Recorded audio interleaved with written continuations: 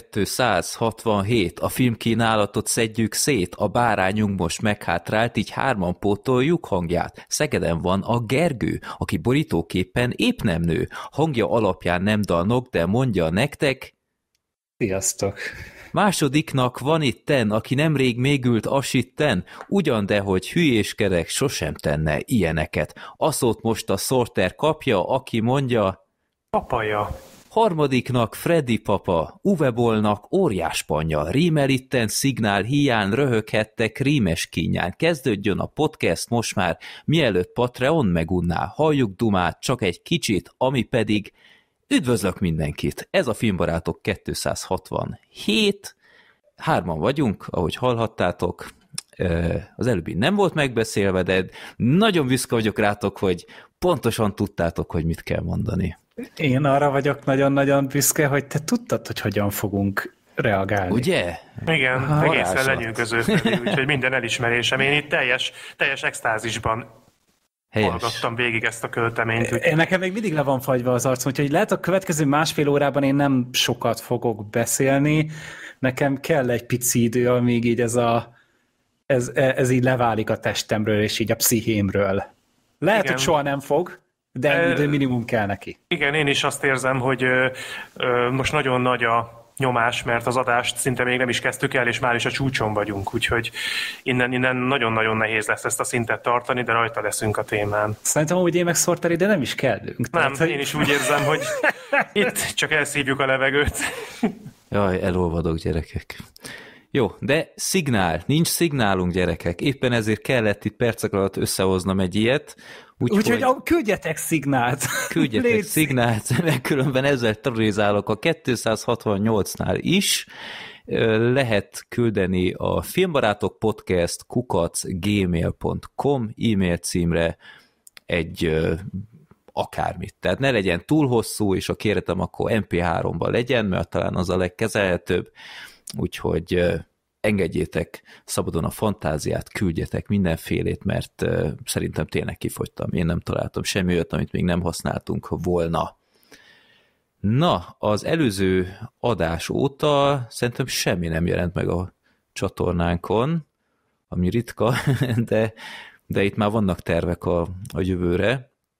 Nevezetesen már most bejelentettem, hogy 2024 kezdetén lesz majd egy ALF filmbarátok Express, egy ilyen sorozat kibeszélős, mint amilyen a, a szomszédok volt például, vagy a rémrendes család, ahol vé, végigvesszük az egészet, úgyhogy ez már így le van fixálva, úgyhogy jó lesz, jó lesz az is.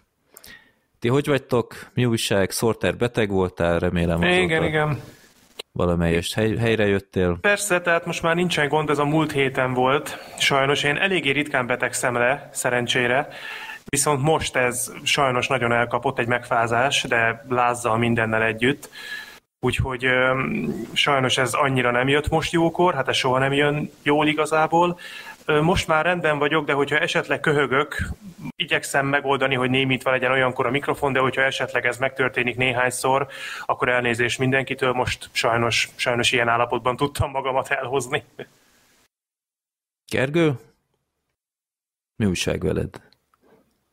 Hát erre a kész, vagy kérdésre általában nem vagyok felkészülve, de összességében igazából én már csak így, így izgatott vagyok a, a podcastek miatt, mert szerintem megint tök jó filmeket hoztunk, és tök jó kibeszélőink lesznek, úgyhogy nem tudom, hogy lesznek-e véremenő csaták, de az biztos, hogy jókat fogunk amúgy röhögni bizonyos, bizonyos anyagokon. Hát van egy alapanyag, ahol azt érzem, hogy nem is feltétlenül a film ott a legérdekesebb dolog, hanem hogy hogyan jött ez létre. Jó, majd uh, szerintem el is, el is lehet mondani akkor filmlistát, mert nem lesz olyan hosszú, viszont... Viszont a, rövid. A Na, most kizökkentettem, mit akarok? Bocsánat, ja, igen, a karácsonyi, karácsonyi filmosztás. Hallhatjátok az idei karácsonyi filmosztásunkat, ahol aztán hallhatjátok Black Sheep-et is, mert ezt már korábban rögzítettük, hogy legyen időnk megnézni ezeket, úgyhogy a menetrend a szokásos, hogy most bejelentjük, hogy ki mit adott a másiknak, és aztán a következő adásban, ami a 268 lesz, az első decemberiben aztán kitárgyaljuk, hogy kinek hogy tetszett, amit a másik adott neki, mint kötelező néznivaló. Most annyit változik a dolog, most nem vagyok benne teljesen biztos, de mint hogyha eddig mindig az adás elején lett volna, de most úgy határoztam, hogy az adás végére pakolom, hogy azáltal, hogy most nem sorsunk népakaratát sem, mert az is most kicsit szünetel, a rovataink miatt, aztán jön évösszegző, meg stb. Úgyhogy az majd csak decemberben lesz újra sorsolás, úgyhogy akkor most pakoltam az adás végére.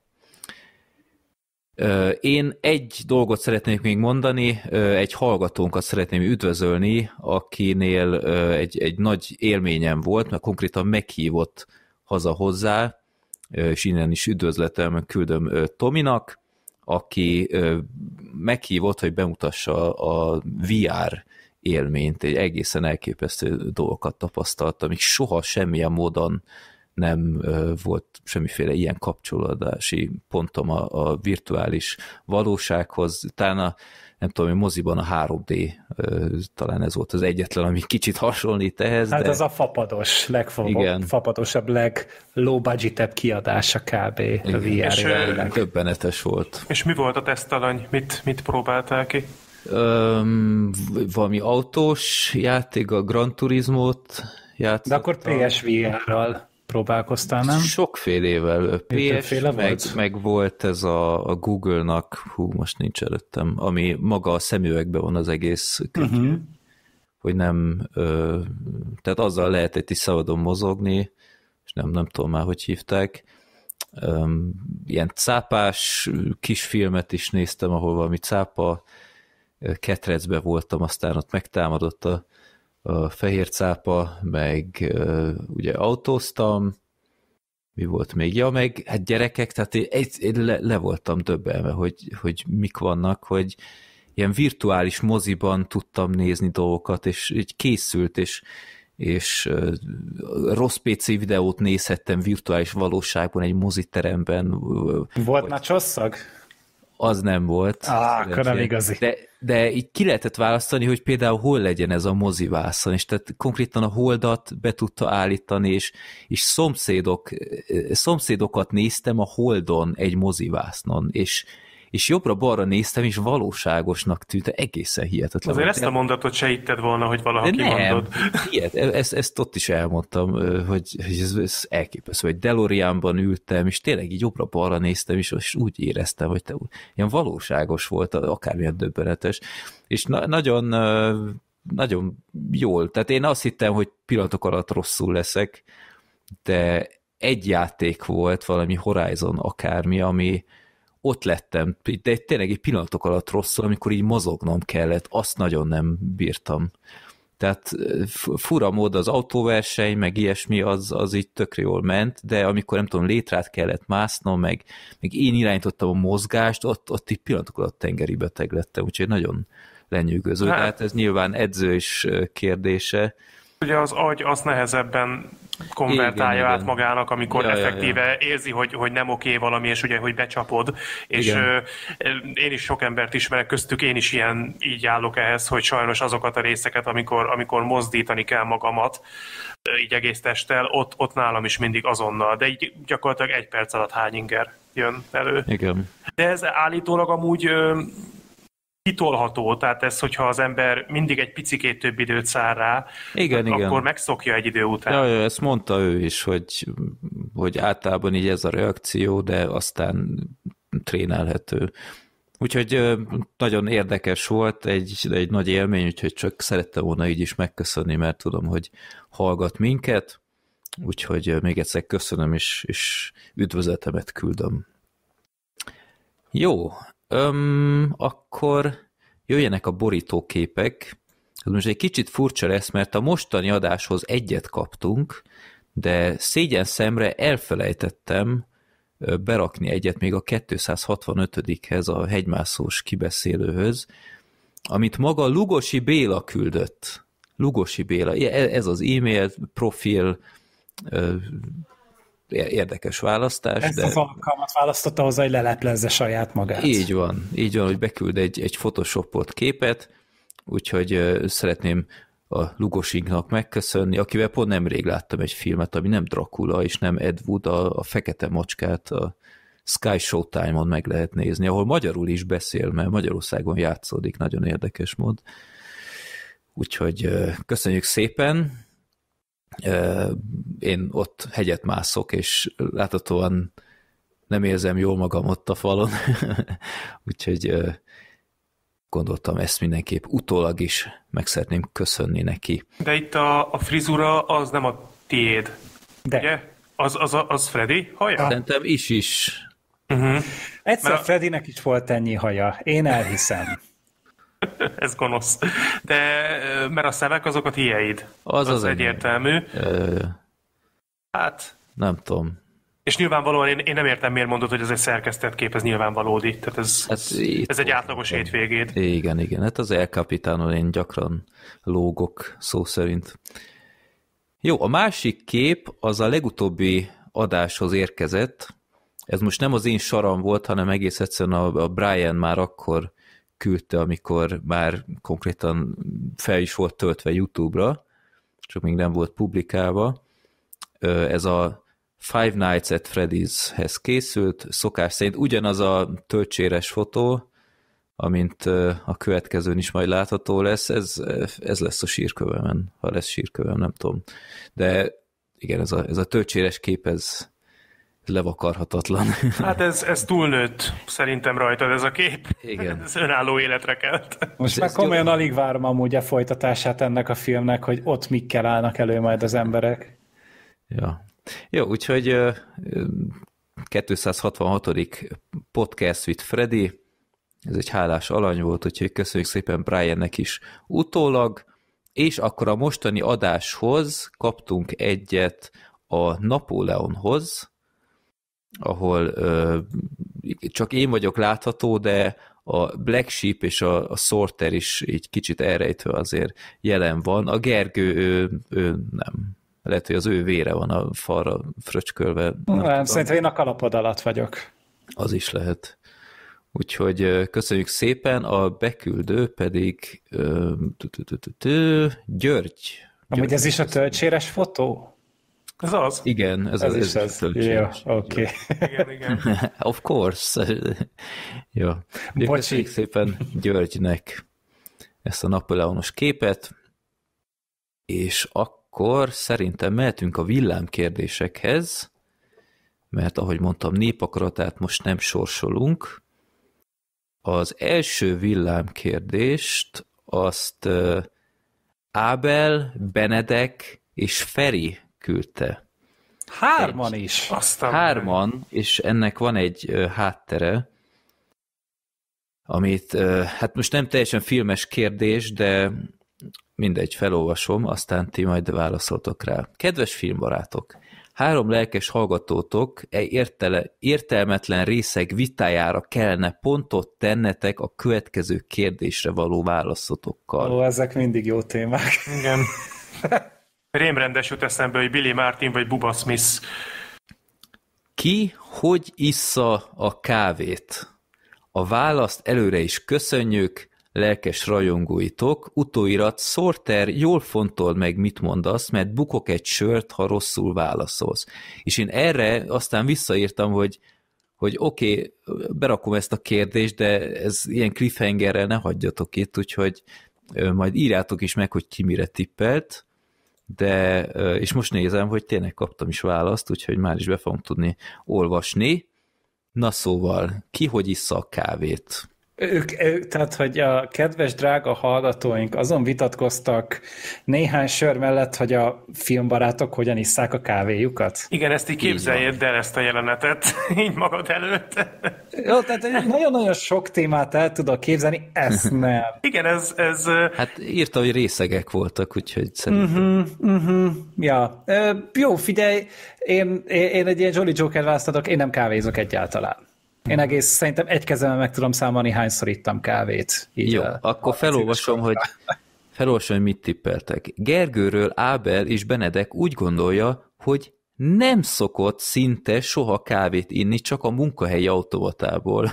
Ott se. Ott se. Feri pedig cinikusan elkönyvelte Gergőt egy tipikus milleniálnak, aki kávé néven csak a Starbucksos Pumpkin Spice Latte meg egyéb desszert kávékat fogyasztja, aminek nulla köze van az igazi kávéhoz. Oh, ez a filmes ízlésemből indult ki olyan? Ah, ami nem lenne, hogy, hogyha én kávézok, akkor biztos, hogy Starbucksos kávét innék amúgy, mert, mert ilyen konzumer szaralak vagyok amúgy, és én ezt rohadtul vállalom, de egyáltalán nem kávézok. Nem, nem szeretem az ízét, egyszerűen azért nem kávézok. Uh-huh.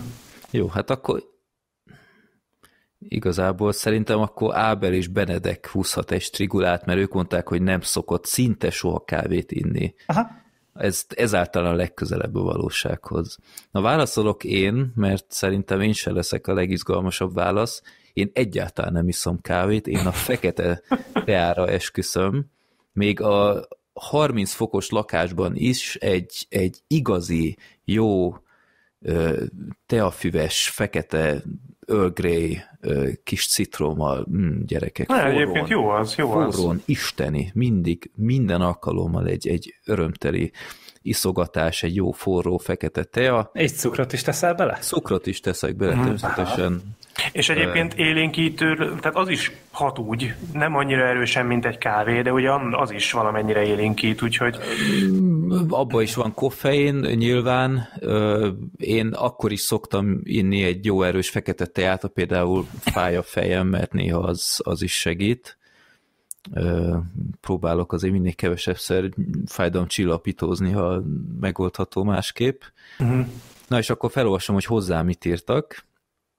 Freddy a legidősebb, így azt gondoljuk, nála még befigyelhet a tipikus retro kotyogós kávéfőző, pontosan egy darab kocka cukorral és kevés tejjel amellett, pedig a munkahelyi automata használatának lehetőségével él, véleményünk szerint. E, no. Mellé ment.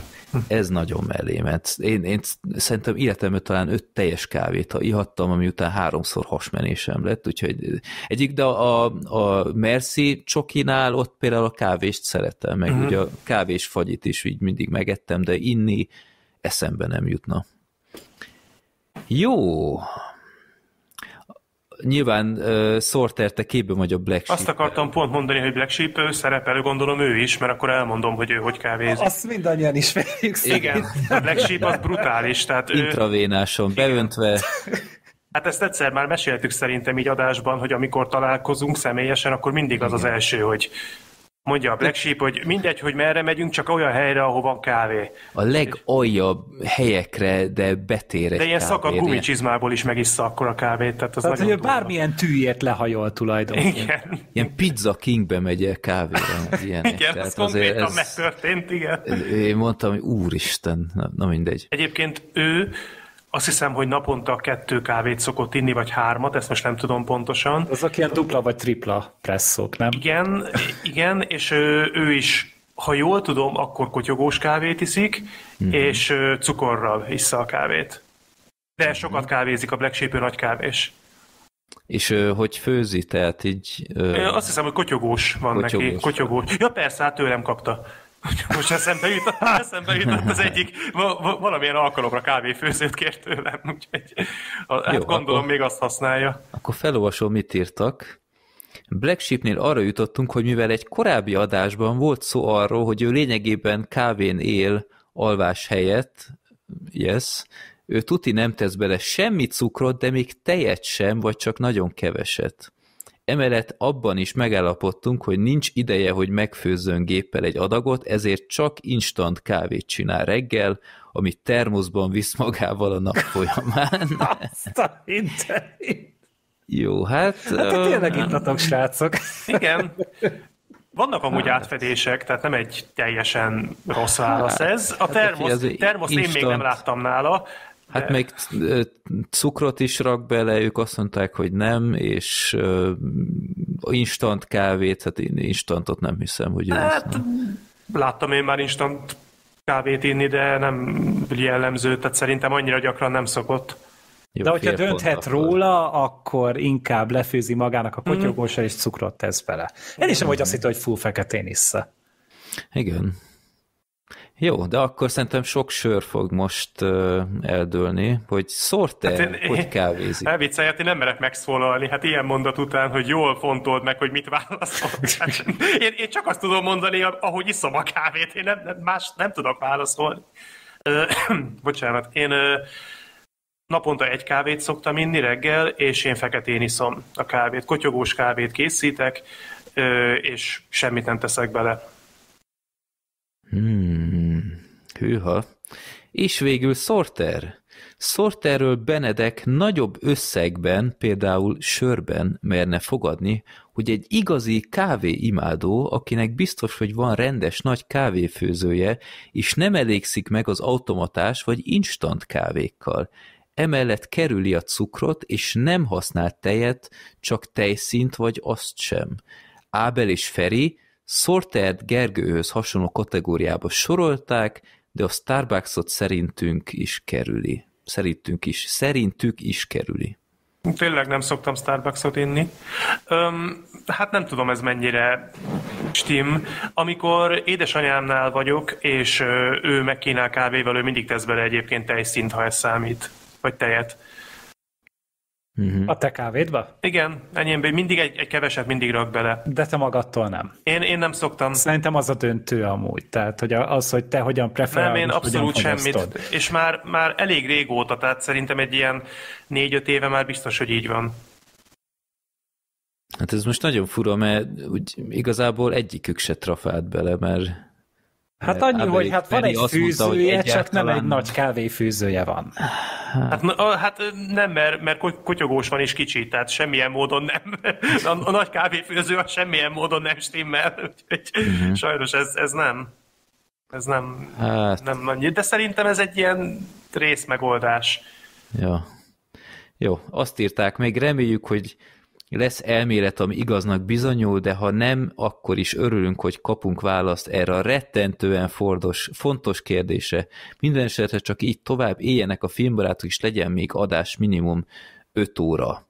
Üdv Ábel, Benedek és Feri. Hát köszönjük szépen. Hát köszönjük. Hát ez egy teljesen másfajta adás nyitás. Hát szerintem így a következő így az lesz, hogy hogyan eszik a rántott húst, hogy rizssel, sült krumplival, főzelékkel, kenyérrel, magában, vagy macska körömmel. Vagy nem eszünk rántott húst egyáltalán, mert úgy gondoljuk, hogy az nem embernek való étel.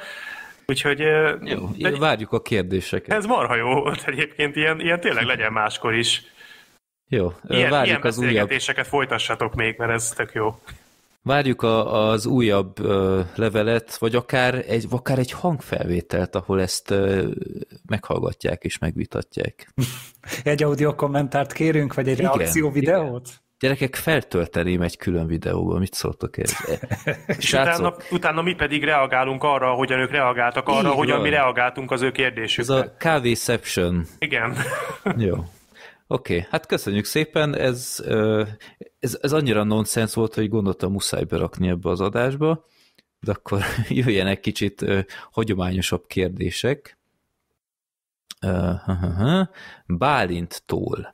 Sziasztok filmbarátok, egy gyors kérdés. Tudtok mondani egy híresebb indiai színészt vagy rendezőt? Egy akkora országban egy akkora ország, és nincs egy híres ember, akinek lenne több filmje, vagy aki befutott Hollywoodban. Most egyre több világszinten felkapott nem angol nyelvű film vagy sorozat van, például a dél-koreai Squid Game, vagy az élősködők, de indiai miért nincs? Én tudok egy indiai színészt, Sarukán. Az, az talán így a legismertebb. Vagy Sharuk Khan, nem tudom pontosan, de ilyen Shahrukh Khan, így van írva um, elvileg. Tehát, hogy amúgy kávé jól mondtad. Úgy Úgy tudom, hogy ö, szintén ismertebb kint ö, Indiában ö, énekes és színész, nem biztos, hogy jól ejtem a nevét, de Ayad Divin, ő volt a szingám egyébként. Én onnan ismerem, de neki elég sok filmje van, és szerepel nagyon rossz filmekben is, de amennyire tudom, ő egy ismertebb név. Na, őt nem ismerem. Hát a Szingámon kívül én sem onnan, onnan nagyon megmaradt. De a koreaiak közül amúgy ismerünk név szerint színészt. Bong mert rendezőt, az a Igen. rendező. hát rendező, de színészt most itt nem, tehát arcról nyilván ismerünk már. Én az Oldboynak a főszereplőjének tudom a nevét Minsik Choi-nak. Igen, igen, nekem is ő jutott eszembe. Uh-huh. Hát egyébként egy érdekes kérdés, de szerintem annyira másfajta filmipar és annyira belföldre készülnek ezek, bár itt folyamatosan változik ez is, mert, mert a Filmhét podcastben ugye itt beszél a, az amerikai box office-ról, és ott, ott már nem először jelenik meg indiai film a top 10-ben. Hát az utóbbi pár évben kezdték el nyomni, de igen, tehát hogy azért nem terjedt el annyira ez még hozzánk, mert hogy egyszerűen nem nyit kifelé India. Csak az utóbbi pár évben kezdtek el olyan filmeket csinálni, amiket esetleg így a kinti közönségnek is meg lehet mutatni. Ugye ennek volt egy ilyen nagyobb képviselője a című film, és szerintem az egy ilyen nagy ugró deszka volt ennek az egész filmiparnak. Még mondjuk Korea, hát Korea az már a, a, az Old Boy-t már Kámban megfuttatta, ugye 2003-ban, Igen. vagy négyben? Négy, nekem, nekem négy Négy de volt? És akkor ugye a, a fura filmes csávó Quentin Tarantino vezette a zsűrit, úgyhogy ő meg persze, hogy imádta ezt, és akkor amiatt az nyert. De hogy én azt gondolom, hogy mindig van egy ilyen ugródeszka, mindig van egy olyan film, ami miatt is fölkapják a fejüket, és lám, Korea 16 évvel később, vagy 17 évvel később meg már legjobb film Oscar-t visz haza. Úgyhogy lehet, hogy India is majd 2030 nem tudom mennyiben, már így a legjobb filmért fog versenyezni az akadémiánál. hát én, én azért a Szingámot indítottam volna már akkor is, de most ez mindegy, ez, ez nem érdekes. Szingám az marha jó egyébként. Üm, igen, hát a Parasite az nyilvánvalóan a, a koreai üm, film ismeretet az nagyon megdobta, illetve a koreai filmnek a, a jelenét, meg jövőjét. Tehát azért az egy nagyon-nagyon-nagyon nagy dolog volt, hogy egy teljes mérték, tehát Amerikától teljes mértékben függetlenül készült film a legjobb film Oscarját megnyerte. Azt hiszem, hogy talán nem volt még az előtt ilyen, hogy idegen nyelvű film kapja a legjobb filmdíjat. Nem, nem, az egy első volt. Igen, hát a Roma volt még hozzá közel, nagyon, de ugye az végül is nem nyert. Hát az nem bánom annyira. Én még mindig nem láttam egyébként a Romát, de annyira nem is érzek rá ingerenciát, hogy pótoljam.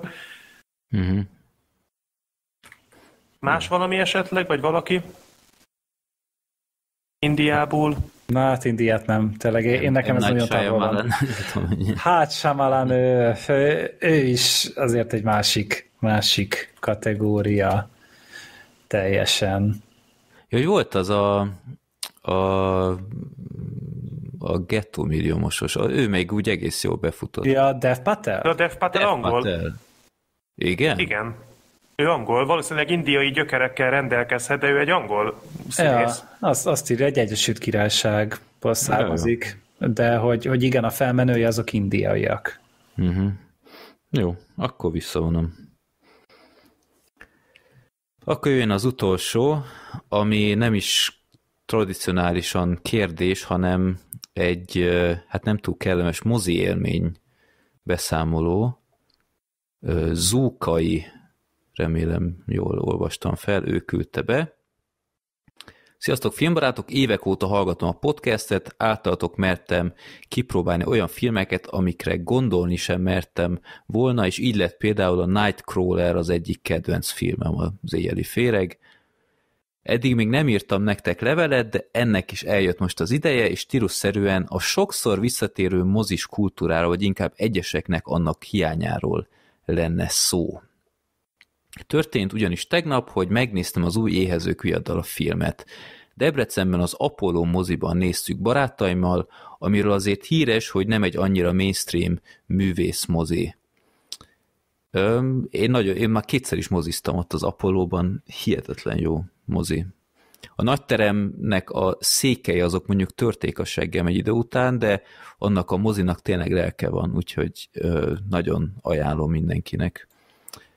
Sajnos szinkronnal néztük, ez tett is belém egy kis félsz, de a eddigi tapasztalataim szerint premier előtti vetítésen egy, nyol, egy fél nyolcas eladáson nem szokott probléma lenni az emberekkel. Murphy törvénye lett, ugyanis elénk egy hatfős fiatal lányokból álló csapat ült le, itt szeretném leszögezni, hogy 21 éves vagyok, szóval az én korosztályom, de elhatárolódom tőlük. A film elején, amíg tartott a nachos, igen, ez már intőjel volt, nem volt probléma, de ugye közepe fele elkezdték az összenézést, a suttogást, alapvetően ezzel sem lenne baj, de ez fokozatosan épült egész addig, hogy egyre hangosabban kérdezték meg egymást egyes name dropoknál, például vagy Flickerman bűvészkedésénél, akinek a kiréte akkora vitát szült, hogy ott helyben googliztak rá, majd pedig indokolatlan jeleneteken nevettek, legyen ez legyen az akár a mészárlás közepén, vagy Gaul szimpadias, de egyébként vérfagyasztó jelenetein.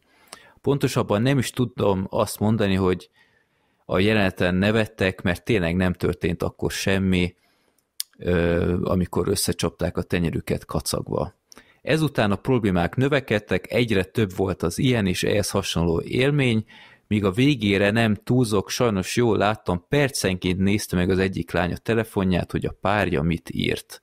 Percenként kapcsolta be és ki a mobilnetet, és mindig azt írta vissza, hogy mennyire jó ez a film, mennyire szép ez a Snow, akire nyilván csorgatták a nyálukat, és hogy honnan tudom mindezt? Úgy, hogy volt, volt kedves pont olyan nagy fényerővel, pont olyan szögben tartani, hogy szemet vonza az a szar. Konfliktus kerülő ember lévén még annyit sem akartam csinálni, hogy a széket megkocogtassam, maradtak a nagy csóhajok és a csendes köhécserések néha, aminek természetesen semmi haszna nem lett, és a végére már szinte egymással szembefordulva oldalasan ültek. Érdekes látni, hogy mennyire jól levezethető a film témájából a nézők mozihoz való tisztelete. Ezelőtt a Killers of the Flower Moon-t néztem, és három óra alatt senki nem nyúlt a mobiljához így, és zavaróan senki nem tömte magába a nachos és senki nem rögte ki DiCaprio egyébként nevetséges száját.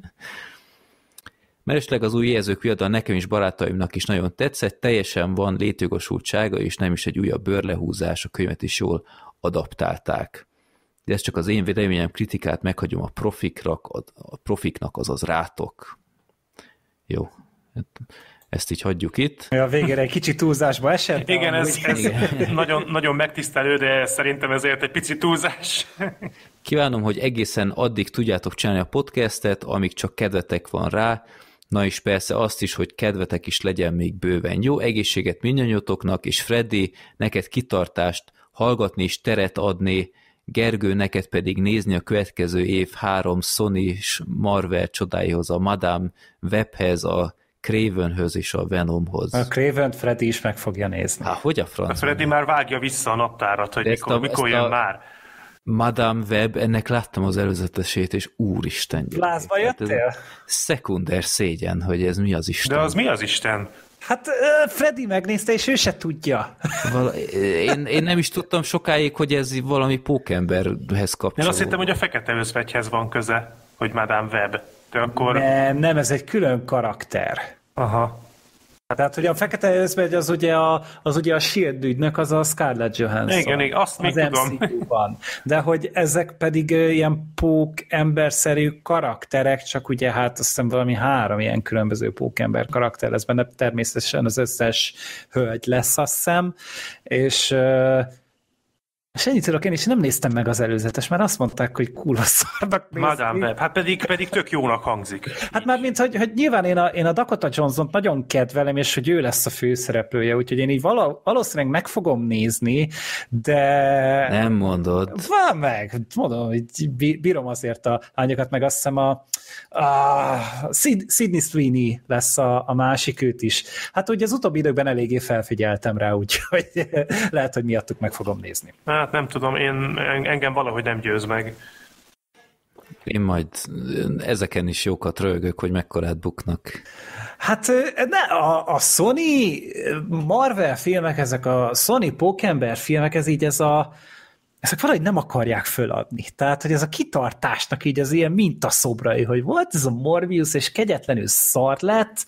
Uh, itt van a csőben, hogy ez a szerencsétlen kréven, amit össze-vissza tologatnak, és amúgy szerintem már dobozban van egy éve, és még mindig nincs bemutatható állapotban. Uh, és akkor ott vannak a Venom filmek, amik hát elég rosszak, és kritikailag olyan szinten földbe állnak, hogy kevés olyan megköpködött film van úgy általában hollywoodi fős, fősodorban, mint az, és rendre termelik kilóra a Dellát. És emiatt abban lesz egy harmadik rész is. Igen, igen. Ez nem fog. Itt, itt fogadni is merek veled. Hát én, én nem mernék ebbe a fogadásba belemenni, mert szerintem is ez egy ilyen Morbius-szerű ö, ordas nagy bukás lesz. Hát a Craven az biztos, tehát az, az ha, egy, ha egy filmet ennyi ideig tolnak, az, az, az nem azt mondom, hogy soha nem tud működni, de ez általában megbosszulja önmagát, és szerintem már a készítők is nagyon-nagyon régen megbánták, hogy egyáltalán leforgatták. Uh-huh. Ez, ez biztos vagyok benne, hogy óriásit fog hasalni. Hát így őszintén szólva én, én sem hiszek ebben, de tudod, ez már csak ilyen katasztrófa turizmus lesz szerintem, amit így hát mindannyian átélhetünk valószínűleg az első sorból. Valószínűleg itt tényleg ilyen Marvels-szerű csodát fogunk látni. Na de vissza a levélhez, egy kicsit elkanyarodtam. Gondolkodtam is, hogy hogy kerültünk ide? hogy igen, tehát itt a kulcs szó a konfliktus kerülő, és, és nem, tehát most már határozottan az az érzésem, hogy nem, nem szabad konfliktus kerülőnek lenni, mert ez nyilván 21 évesen én is jobban konfliktus kerülő voltam, mint most, de nem, nem, szabad, nem szabad hagyni, hogy nyerjenek. De a kérdés... Hát meg, meg általában mondja. amúgy a legtöbb ilyen embert, az ilyen nagy szájú valaki, ezek amúgy megijednek, hogyha oda mész hozzájuk szólni. Tehát, hogy, hogy így, hogy hogy általában váratlanul éri őket, mert tudod, ők annyira így, így azt gondolják, hogy nekik mindent szabad, hogy nekik mindent lehet, hogy rák nem vonatkoznak a szabályok, és így nem tudnak kifelé figyelni, hogy azért így kizökkented őket, hogyha mondjuk csak, csak rájuk pisszegsz, vagy mondasz nekik valamit. Tehát, hogy nem, nem kell megfenyegetni, meg nem kell azt mondani, hogy gyerekeidet vizé kézbe fogom, és azzal verlek agyon. Tehát erre nincsen szükség, Uh-huh. Csak, csak hogy mondod, hogy figyelj, Léci, izé, engem érdekel a filmet, nézni szeretném, és zavartok, vagy nem tudom. Igen, igen, ez egy kicsit jobb, jobb, igen. jobb eset, hogy ö, mögöttük ült, mert hogyha előttük ül, az annyiban rosszabb, hogy ott végig ők vannak mögötted, és akkor nem tudom én, grimaszolnak, meg suttognak, így meg végig kontroll alatt vannak, hogy uh-huh. ott ül mögötte az ember, úgyhogy nem, bele kell állni. Tehát... Igen, csak ugye ez is olyan, hogy én is azt gondolom, hogy, hogy van az a pont, amikor már tényleg oda lehet, ezt lehet normálisan is közölni, hogy Gergő is mondta, nem kell rögtön leszedni itt mindenkinek a fejét, és hogyha ha mázlit van, akkor meg is értik, de ugye van ellenpélda is erre, ugye a Günteres eset, ahol ugye szólva lett, és igazából csak olaj volt az egész helyzetre. Hát, Jó, mondjuk talán azt kimerem jelenteni, hogy, hogy legalábbis nagyon bízom benne, hogy az azért nem, nem átlagos, ami ott történt, mert az azért ö, egészen döbbenetes, hogy ilyen, ilyen megtörténhet egy moziban. Hát figyelj, um, tehát, hogy olyat se azelőtt nem látott Freddy, meg azután se, tehát hát azért az egy nagyon extrém. Crit 3-nál nem biztos, hogy ja, annál az anarhiánál? Légy szíves! Hát meg a hú, Ákos írt a mosolyogiról. Vagy András? Az András volt. András. András. hát az is valami elképesztő. Úgyhogy hát... Mm.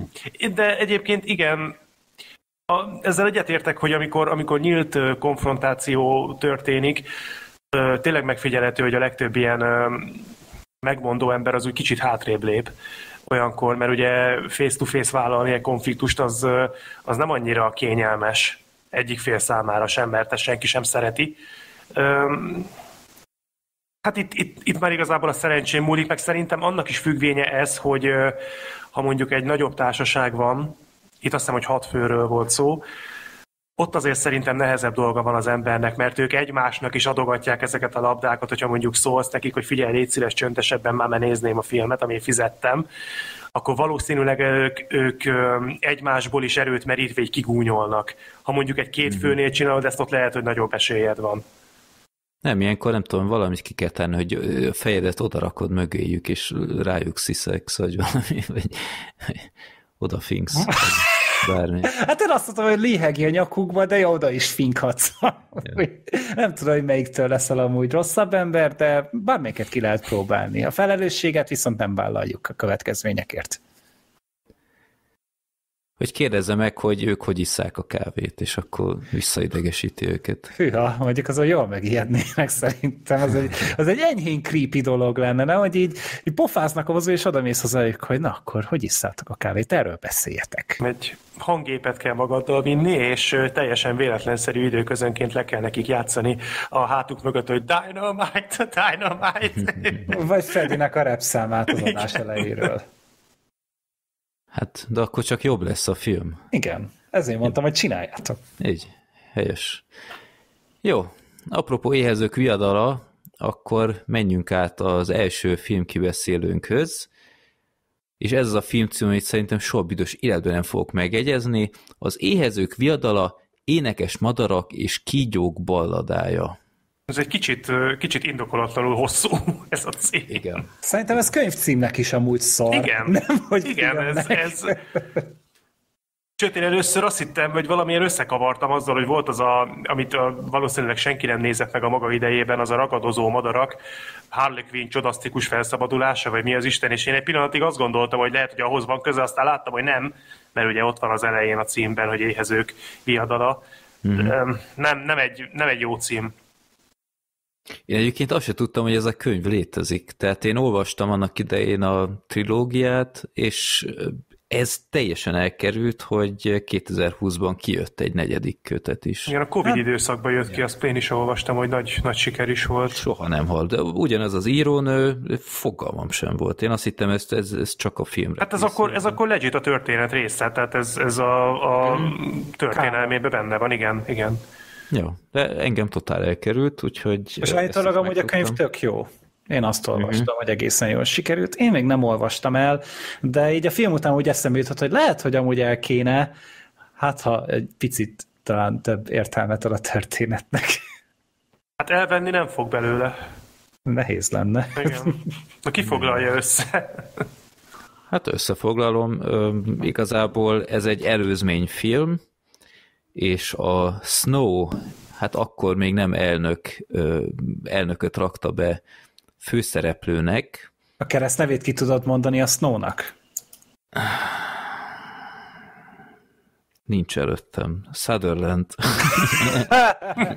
Sutherland Snow, ez mondjuk egy elég erős indítás lenne. A Coriolanus. Coriolanus. A Sutherland nekem jobban tetszik. Illik-e ez a filmcímhez? Ugye? Jó, szóval ő a főszereplő, egy olyan korai 20 éves lehet? Vagy, hát vagy, szerintem. Annyi sincs. Hát, vagy a 20 elele, vagy a 10-nek a vége. Ez a, hogy majd, Twini? Talán van egy ilyen kifejezés, amikor ez a se nem felnőtt, se nem gyerek. Aha. Jó, ő a kapitóliumban él, nem a legjobb körülmények között, de azért jó helye van a suliban, és szeretne tovább lépni egy elit egyetemre, amikor adódik egy lehetőség, hogy az éppen sorra kerülő éhezők viadalánál, ami egy kicsit olyan krízisben van akkoriban, hogy ö, kitalálnak egy ilyet, hogy kicsit felturbózzák ezt az egész éhezők viadalát, ami akkor már, nem tudom, tíz éve ment? Vagy? Hát ez a tizedik viadal tizedik, volt. Aha de úgy az emberek kicsit elvesztették az érdeklődést, akkor kitalálták, hogy egy mentor programot csinálnak, hogy a kapitóliumból mindenki kap egy darab mentort, és az segíti a kiválasztottat a körzetből, és a, a Snow aztán hát megkap egy a 12. körzetből egy hát ilyen kicsit olyan kezelhetetlennek tűnő énekes csajszit, és ezt egyrészt szeretne is tényleg segíteni annak a lánynak, de szeretné arra is használni, hogy mindenféle eszközzel megnyerje a, a nézők figyelmét, és akkor ebből ő is tud majd profitálni. Itt hát a... konkrétan egy ösztöndíjért küzdenek, amit, Ösztöndíj, mind, amit mindaddig ugye tanulmányi teljesítmény, meg egyéb eredmények alapján adták, és akkor hát így a film elején mondják is, hogy hát ezt valószínűleg ő fogja megkapni, és hogy ott akkor változtatnak a szabályokon, hogy oké, okay, most már nem a tanulmányi eredmények fognak számítani, hanem az fogja a legtöbbet nyomni a latban, hogy kinek a pártfogoltja nyeri meg a viadalt. Így van. És hát elindul aztán újra hát nevezzük kasztégnak, hogy összeszedik az embereket, és akkor mindenféle bonyodalom van itt a, a viadal előtt, hogy még folyamatosan vannak a, a lázadóknak a támadásai, ami konkrétan maga a helyszínt is érinti. Erről is majd szerintem beszélhetünk, hogy ez így ebben a formában mennyire volt logikus. És még egy, sőt két fontosabb szereplő is van, maga az éhezők viadalának a kitalálóját is láthatjuk, akit Peter Dinklage alakít, ugye őt a trónok arcából és a halálos temetésből lehet ismerni, és gyakorlatilag ugyanazt a karaktert alakítja, mint a trónok harcából. Ez a depressziós, szerfüggő, minden tudó intelligens figura. Így van. És van a kapitóriumnak egy elnöknője. De ő nem az elnök amúgy szerint. Nem az elnöknő volt? Nem, nem, ő, ő, ő lehet a játékmester? Egy játékmester volt? Az a lényeg, hogy szerintem amúgy a prezidentet nem látjuk itt. Tehát, hogy itt nincsen ö, olyan karakter, aki abban a pozícióban lenne, mint a Hunger Games-ben a Snow volt. Uh-huh. Igen, lehet, hogy igazad van, mintha lett is volna valami, ö, valami merény lett az elnök ellen, és akkor az nem a Viola Davis volt. Nem a Viola Davis volt, hanem ő volt az, aki mondjuk gyűjtötte így az ajánlatokat is, vagy Aha. tudod az ötleteket, hogy hogyan lehetne a játékot feldobni. Igen, ez, ez jogos. Akkor lehet tényleg ő volt a játékmester, egy nagyon harsány frizurával és sminkkel. Igen, őt a Viola Davis alakította, és így nagyjából ezek a főbb karakterek. Itt is van még természetesen ilyen műsorvezető, mint ami régen a Stanley Tucci volt. Hát annak az egyik fölmenője konkrétan. Igen, akit a Jason Schwartzman alakít, akit a mi az a Wes Anderson, ez a Igen. Asteroid City-ből ismerhettük meg az összes korábbi filmjéből szinte, és hát erről szól aztán a filmnek az első kétharmada, és aztán az utolsó harmadáról még szerintem beszélni fogunk. Hát a film az húz egy ilyen Mad Max 3 hogy gyakorlatilag oh, így egy, egy bizonyos egy filmen pont, belül. Igen, egy bizonyos ponton túl elkezdődik egy másik film, és nem tudom, hogy ez mennyire szerencsés, vagyis tudom semennyire, de, de erre majd, majd rátérünk részletesebben is. Uh-huh. Jó. Ö, így előzőleg, hogy éhezők viadalával ti hogy álltok? Gergő, tudom, hogy te most végignézted az összeset, vagy majdnem az összeset. Hát a Mockingjay Part 2-t még nem néztem meg, de megfogom. Nem azért nem néztem meg, mert az kurva szar volt, mert emlékeim szerint amúgy a 3 per 1 az rosszabb volt, Uh, úgyhogy még azt meg akarom nézni, de én amúgy kedvelem a Hunger Games cuccokat, régóta nem néztem őket újra, és amúgy szerintem többször újra kéne őket néznem, meg én a regényeket is olvastam, úgyhogy én amúgy így, én egészen egészen szeretem a Hunger Games-t, és így én vártam is ezt a filmet valamennyire, mert úgy voltam vele, hogy igazából az ilyen anti sztorikat, ezeket, hogyha jól megírják, ezek tök izgalmasak tudnak lenni. Uh-huh. Sorter? Hát én az előbeszélgetésben nektek már mondtam, hogy igazából én bevallom, hogyha nincs a filmbarátok, akkor valószínűleg nem nézem meg ezt a, ezt a filmet. Én úgy vagyok az éhezők viadalával, hogy az első részét azt amikor bemutatták, akkor láttam, de bevallom őszintén, én értem, hogy miért szeretik sokan, engem valahogy nem fogott meg, a regényt is elkezdtem egyébként hangos könyvként meghallgatni, és valahogy azt sem fogott meg, nem kötött le, és én utána nem néztem meg a többi filmet, és tulajdonképpen kíváncsi voltam arra, hogy úgymond laikusként hogyan fogom ezt, a, ezt az új történetet majd értékelni, úgyhogy igazából ezért gondoltam, hogy akkor, akkor vállaljuk be, nézzük meg, de nem vagyok, tehát ezután se lettem rajongója a szériának. Uh-huh.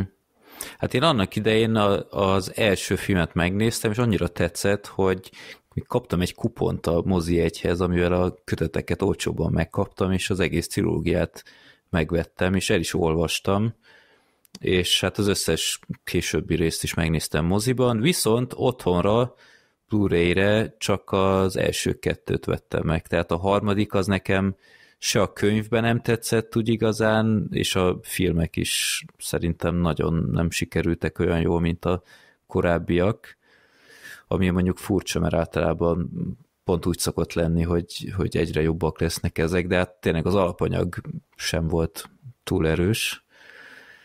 Ö, és mondom, én nem tudtam, hogy van ez az előzmény kötet, úgyhogy én teljesen érdeklődve, és én azt se tudtam, hogy a Snow a főszereplő ebben, úgyhogy én, én tényleg vakon vettem mozi egyet, ahogy nagyon sokszor mostanság, de tényleg én alapvetően szeretem ezt a, ezt a franchise-t.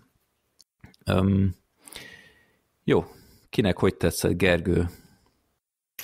Kétharmada tetszett a filmnek, mm-hmm. tehát én nekem a, a felvezetés, tehát az, ahogy így ezt a visszakerültünk be a világba, és így nagyon hamar elkapott a hangulat, hogy újra éreztem, hogy oké, okay, pánemben vagyunk, és akkor uh, kapitólium minden, és ugye itt egy kicsi ilyen szemléletváltás is volt, hogy ugye a a, a trilógia, vagy hát ugye filmek esetén ugye négyen vannak, ö, ott ugye az a, inkább a körletek, körzeteknek a szemszögéből mutatta be, itt pedig inkább a, a, a kapitóliumot látjuk, és ez nekem tetszett, az is tetszett, hogy ugye nem egy ilyen habzsidőzsiben él mindenki, tehát hogy nem egy ilyen, egy ilyen homogén gazdagság jellemzi az egészet, hanem konkrétan a kilakoltatással kell küzdeniük a néhányaknak, és hogy nagyon vannak emberek, akik rászorulnak amúgy a rendszernek a jó indulatára, mint például ugye Snow, aki ugye az ösztöndíjat várja, amiből, amiből majd el tud menni tanulni, amiből ő majd tudja tényleg stabilizálni az anyagi helyzetét, és ugye ebből hirtelen egy egy azonosulható karakterré vált az egész viszont az, az egy picit zavart, hogy azért annyit meg nem láttunk bele a kapitóliumnak a mindennapjaiba, hanem tényleg főleg csak a Snow-on hmm. maradt rajta a fókusz. Ez viszont azért nem zavart, mert szerintem a castingja a Snow-nak hibátlan. Tehát a Tom Blit vagy Tom Blight, nem tudom, hogy melyik a szebb, ő rohadt jól játsza ezt a karaktert, hogy ott van benne ez a csúszó-mászó, számító stratéga, ott van benne ez az érzékeny karakter, ott van benne az, aki, aki próbálja palástolni a a kétségbeesését, és inkább ö, ö, ravassággal ezt az egészet elkendőzni, és, és tényleg úgy minden ott volt benne, és még a megjelenése, a karizmája is amúgy tökéletes volt, és én így elhittem, hogy ez, ez a 20 éves Donald Sutherland ö, tulajdonképpen úgy, hogy... Kicsit a, kicsit a fiatal Ryan Goslingra is emlékeztetett. Egy picit igen, tehát hogy, hogy volt benne valami, és hogy tényleg szerintem az a casting az tökéletes volt. A, a Rachel Ziegler, ő, egy más, ő is egy nagyon-nagyon jó színésznő, és ő egy nagyon-nagyon jó énekes, ezt azért úgy nem is győzték amúgy mutogatni, meg erre fényezni magukat a filmben. Itt az volt az egyetlen probléma, hogy egyrészt túl sok a dal, és azok meg túl szarok. Tehát Ugye? Rettenetesen szarok a dalok, és úgy meg főleg bántó ez, hogy ugye a harmadikból ugye kb. egy dal volt, ugye ez a Hanging Tree, hogy ez a harmadik részben énekelték és az itt is visszatér, az az egyetlen egy épkézláb dal, ami meg nem ehhez íródott. De itt is kap egy origin story tulajdonképpen az is, és hogy, hogy, hogy ez a túl sok éneklés így sajnos megöli a, a lendületét, és és hmm. tudod, sokszor ilyen pózer szarnak hatott az egész, és már egy ponton irritált a dolog. Ez volt az, ami elvett nekem egy kicsit az első kettőből, mert amúgy a maga kis bumfordiságával, bénaságával, elnagyoltságával is, maga a viadal az, az izgi volt. Szerintem, hogy egy ilyen, egy ilyen, tényleg egy ilyen kolosseum volt kb. itt az aréna. Hmm. Nem egy ilyen nagy ö, hát- erdő, meg mit tudom én, amik, amik az első kettőben voltak. Tehát ez, ez, ez a helyszín, ez nekem annyiban mondjuk logikus volt, hogy, hogy a kezdetekben járunk még, és Aha. akkor nyilván ez tovább fejlődött, és nem volt még úgy kifejlesztve, mint később. Hát nem egy show volt ez még abszolút. Igen, de ugyanakkor ez a helyszín, főleg miután full romos lett az egész, Tehát én már azon csodálkoztam, hogy ezt ott megtartották. Én is azt hittem, hogy itt csinálják azt először, hogy így kiviszik vidékre, és akkor mit ott tartják meg. Hát de nem lett volna értelmesebb, mert hát valószínűleg közönség is kellett volna, hogy legyen ott a tribün. És lehet, hogy nem. kicsit Sz- Szerintem oda az nem kellett volna. Szerintem itt még ugye az volt a lényeg, hogy izé hamar lemegy, mit 20 perc alatt megölik egymást, és készen van. Ez, csak, ez csak később lett egy jelenség, szerintem ezután a viadal után, hogy mi van, hogyha hosszabb időre kihúzzuk, és hogy van ideje az embereknek izgulni rajta. És ez igen, de, volt. Igen, de ugyanakkor tehát ez, ez a pont, ami, pont ahogy mondott, hogy ez, ez pillanatok alatt vége, vége kellett volna, hogy legyen uh-huh. ennek, mert hogyha nincs ez a ez a uh, viszmajor helyzet. Hát ez a mozgástér, amit kapnak ezáltal. Igen, tehát ez egy, ez egy full elcseszett produktum, tehát show elem. Hát az egy hentes fesztivál, de ugye ezt mondták is, hogy nem nézték az emberek, és hogyha tényleg ilyen, akkor én nem csodálom, hogy nem nézték. Na jó, de hát ezt nem tudom elképzelni, hogy tíz évig ezt így ebben a formátumban megtartották. De... Hát addig szerintem nem egy showként, nem egy valóság show volt ez, még az idővel evolválódott egy reality-vé. Itt, itt az egészhez csak annyit tennék hozzá, hogy szerintem az, az, az tök jó, hogy a film az tényleg elég érzékletesen bemutatta azt, hogy milyen volt ez az egész, amikor kezdődött, amikor még, még kis cipőben járt az egész. De én egy, egy picikét átverve éreztem magamat amúgy. Ez lehet, hogy az én hibám, mert bevallom őszintén nem tudtam, nem olvastam utána, hogy ez most pontosan miről fog szólni, ez a történet. De én azt gondoltam, hogy azért itt a viadal az majd egy hangsúlyos szerephez jut. És tulajdonképpen a, a film döntő részében nem a viadalt láttuk. Hát ez a második ö, harmad igazából, tehát ez hát, a második és... fejezet a három fejezetes filmnek. Igen. Hát meg, na, elég vérszegény volt szó hát, szerint. Szó és... szerint, meg hát azért az a, az a kígyós jelenet, azért az, a, tehát mondjuk ki, hogy azért az rettenetesen rosszul nézett ki szerintem. Igen. Hát nem annyi pénzből készült ez, mint a korábbiak, tehát az első volt ennél csak egyedül alacsonyabb költségvetésű, tehát az valami 70-80 millió dolláros film volt, és akkor a második, harmadik harmadik két része, azok már ilyen 100 plusz milliós projektek voltak, ez egy 100 millióból készült, mm. tehát ez nem volt egy olyan gigaproduktum. Ez a vértelenség, ez nekem is nagyon fájt, főleg úgy, hogyha újra nézitek, ahogy én, elég véres volt amúgy az első film, meg a második is, tehát legalább a karakterek véreztek, legalább csöpögött azért valamennyi paradicsomszósz. Itt meg e, konkrétan egy, egy, egy szuronnyal leszúrnak valakit, és nem véres utána az eszköz. Igen, Pedig ez... ott húzzák ki frissen az emberből. Vagy ez... mindig el, elnéz a kamera pont abban a pillanatban, tehát ez, ez De hát ebben a formában komikus. A, le, a legkínosabb az az, amikor, amikor nem is néz el a kamera más irányba, meg amikor nem, nem az van, hogy valami történik, és mondjuk megoldják, hogy ne lássad. Hát ezt nem fogok részleteket elárulni, de van egy olyan jelenet, hogy konkrétan egy üveggel egy nyakat elvágnak, tudjátok, uh-huh. így beleszúródik. Ja, ja, ja, ja. És ott telibe mutatják, tehát ott, ott konkrétan látod a sebet, látod, hogy áll ki a nyakból az üveg darab, folyik a vér. és semmi vér nincs ott, tehát, hogy, és, nem, és még csak nem is takargatják, és ez így, tehát akkor vagy az egyik, akkor vagy álljunk bele úgy, hogy igen, beletesszük és vállaljuk a nagyobb korhatárbesorolást, és akkor megcsináljuk véresre, vagy nem rakunk bele ilyeneket. De ez így, ez a, ez a legrosszabb megoldás mind közül. Hát ez az alibizés, ez a pironkodós bénasság volt, és ez engem is rohadtul zavart. Benne, meg hát ugye, hogy, hogy azért érezték, hogy ezen rázni kell valamennyit, tehát nem lehet újra ugyanazt csinálni, egy egész, ugye a viadal elviszi a filmet, mert azt már ismerjük, azt már láttuk, úgyhogy most ilyen külső tényezőket vittek bele, hogy tényleg így a, hát nem csak azok fordulnak meg az arénában, akik a játékban játszanak, vagy akik így a körzetekből lettek begyűjtve. Meg az nagyon tetszett, hogy, hogy mennyivel másképpen viselkednek még a versenyzőket, tehát hogy konkrétan ilyen állatkertbe rakják őket, egy ilyen mhm. ketrecbe, és akkor oda lehet menni őket így nézegetni, meg simogatni, meg mit tudom, az ilyen, az nagyon tetszett az a része, hogy még így ilyen így, így emberi jogok, meg ilyenek abszolút nem voltak, meg semmiben nem nézték a, a játékosokat, és hogy voltak ilyen apróságok, amik nekem így mentették ezt, a, ezt az első kétharmadot, de, de aztán a harmadik, ami, ami így eszükbe jutott, hogy így, így, így, így rájöttek, hogy amúgy mit is vállaltunk mi fel ebben a filmben, hogy minek a történetét akarjuk elmesélni. És akkor azt gyorsan összerántották, de ilyen eszement kapkodó módon, és egy, hogy egy 165 perces filmnél ilyen összecsapott szar finálét hozzanak ki, ahol én komolyan azt hittem végig, hogy én hülye vagyok. Hogy én nem érte, én nem értettem, érezni. nem értettem ezt a komplex filmet, én nem értem az árnyaltságokat, a rétegeket, a karaktermotivációkat, mert, mert szerintem nincsenek.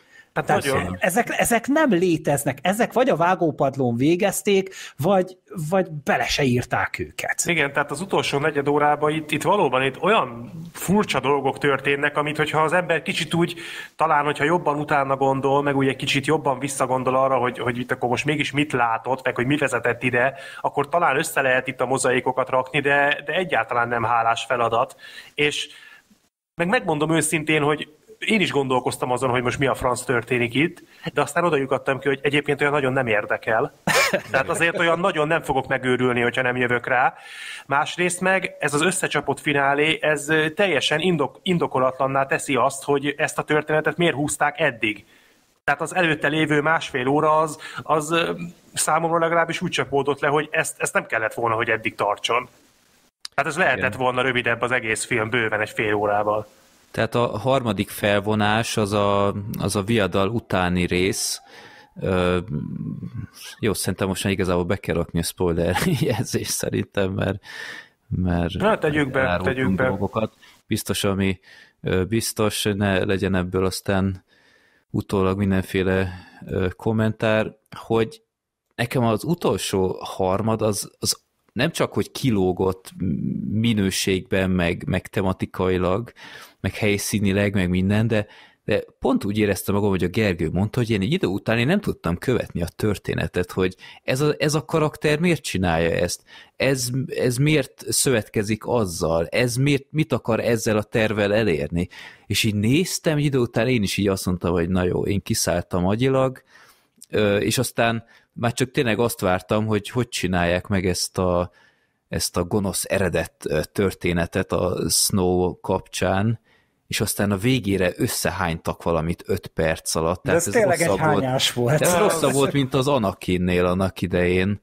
Tehát tehát ezt így, tehát pont emiatt gondolkodtam, hogy akkor miért kellett a Snow-ra felhúzni ezt az egészet. Tehát sőt, úgy egyáltalán szerintem a filmben van egy pár ilyen nagyon fura koncepció, hogy miért miért nem egy sokkal izgalmasabb korszakot mutatták meg akkor előzményben? Miért nem mondjuk, miért nem kezdik a forradalommal, ami a film elején egy, nem tudom, egy perces rész, holott szerintem az is tök izgalmas lenne, hogyha abból látnánk valamit, és akkor mondjuk a forradalom leverése után látnánk a legelső éhezők viadalát. Ez mennyivel királyabb sztori lenne, mint a tizedik, ahol konkrétan alig történik valami a viadalon, 20 perc kéne, hogy legyen az egész, tehát még azt se hittem el, hogy ezzel az összedőlt romos helyszínnel ez még így is eltartott napokig. Tehát hogy a francba?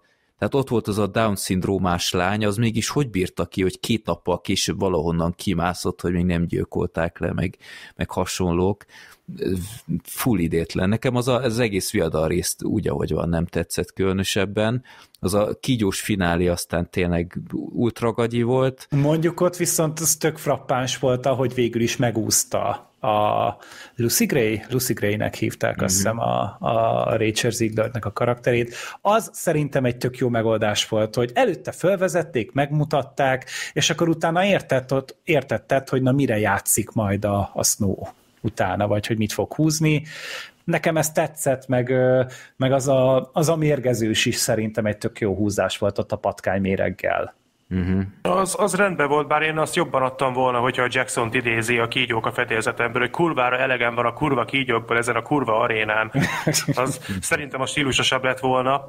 Üm, igen, én ezzel amúgy tök egyetértek, amit elmondtatok, nagyon széteső volt az egész, és szerintem ez, ez, ezt az is megkoronázta, hogy ugye itt három fejezetre osztlik az egész, és az első kettő, az úgy nagyjából hangulatban és atmoszférában úgy, úgy koherens egymással, tehát ez a kalandfilmes, picit utopisztikus, ilyen lájtos 1984 is van benne, de azért kalandfilm jellege is, azért könnyedebb hangulatú, és aztán a harmadik felére, a végére meg így egy huszárvágással átmegy ilyen napolába kb. az egész, és uh-huh. nincs, nincs átmenet, hanem tényleg olyan, mint hogyha az utolsó fél órában egy másik filmet néznél, és egyszerűen ledob magáról az egész. Meg, be, meg bedobta azokat a mellékkaraktereket, akik szerintem egyáltalán nem voltak jó kidolgozva, nem is voltak érdekesek.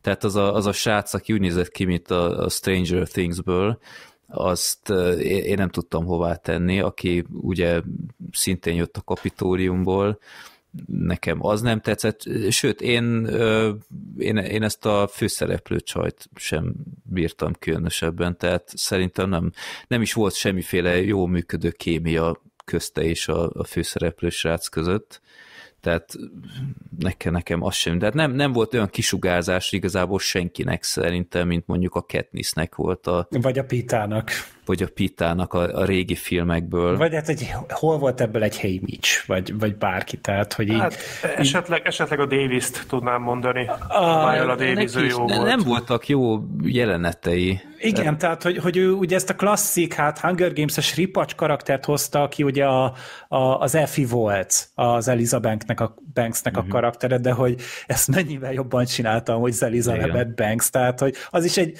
attól a karaktertől, attól az alakítástól az egész filmes közösségnek sugárban kellett volna hányni, de működött. Az uh-huh. isteni valahogy működött, nem tudom a mai napig, hogy hogyan, és most is újra néztem, és nem értettem, hogy miért nem akarom amúgy átütni a képernyőt ettől a karaktertől. És a könyvben még jobban ábrázolva volt az ő karaktere amúgy. Igen, de... igen, és hogy, hogy így, e- ez most csak egy ilyen mímelésének hatott, a, igen. amit a Viola Davis csinált. A szegény Peter Dinklage is hát ugyanazt az arcát mutatja már sokat gyára, így ő sem volt túlságosan izgalmas, szerintem.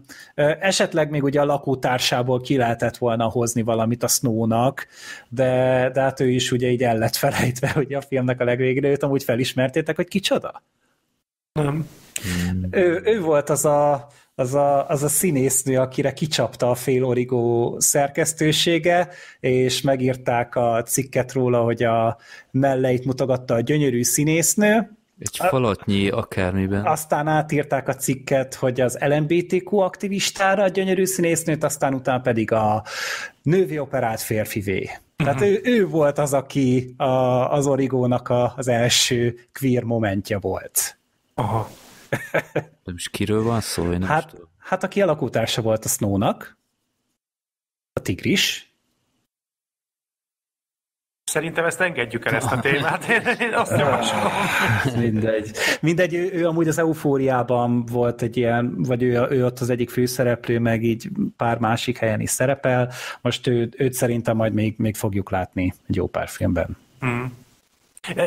Nem tudom, hogy szóba kerültem, mert most ki kellett mennem egy pillanatra, de nem szeretnék nagyon szigorú lenni. Voltak jó pillanatai a főszereplő színésznek, de én azért tőle se voltam elájulva. Ő ilyen hektikus volt egy picit, nem? Tehát valamikor nagyon elkapta ezt a karaktert, valamikor meg, hát megint csak ezt tudom mondani, hogy a fináléban például nekem már nem volt meggyőző. De, bocs, visszatérve, te a, a testvérére gondolsz? Az nem, nem a testvére volt szerintem. Hát dehogy nem, hát az a, az a családja volt. Nem. A, a nagymama, igen, tehát hogy az a, az a nagymamája volt, de aki vele lakott, az nem, a, az nem rokon volt, az egy barát volt. Tigris Snow. És ezt hol írják a tigrisznó? Hát itt olvasom Google-on. Tényleg? Kazin. Jó, nem testvére, unok a testvére. Ja, az. Jó, akkor, akkor ezért nem értettem. Mind a ketten tévedtünk, látod. Nem tudtam, hogy milyen lakótásról beszélsz a Hát én kívül. folyamatosan azt hittem, nem, nem nagyon emlékszem, hogy kimondták volna így a család nevét, de akkor ja, rokon volt. Aha. Nagyobb foltok is voltak ebbe a sztoriba, ennél ezt tegyük hozzá. Nem volt egy kulcskarakter. Hát igen, annyiban. igen. De a plakáton rajta van. Hát a plakáton mindenki rajta van, pont azt néztem, hogy a fele társaság szerintem 10 percet nem szerepelt az egész filmbe. Hát a Dinklage, ő, ő szerintem összesen negyed órát nem volt uh-huh. a mhm. filmben amúgy, amit kicsit sajnáltam egyébként, mert hát gondolom ő ezt kisújból kirázta, ezt hát a szerepet. De, ez nagyon kisúly volt neki. De, de őt mindig jó látni egyébként. Á, tudom, mit csinálta Gergő. Igen. Szép.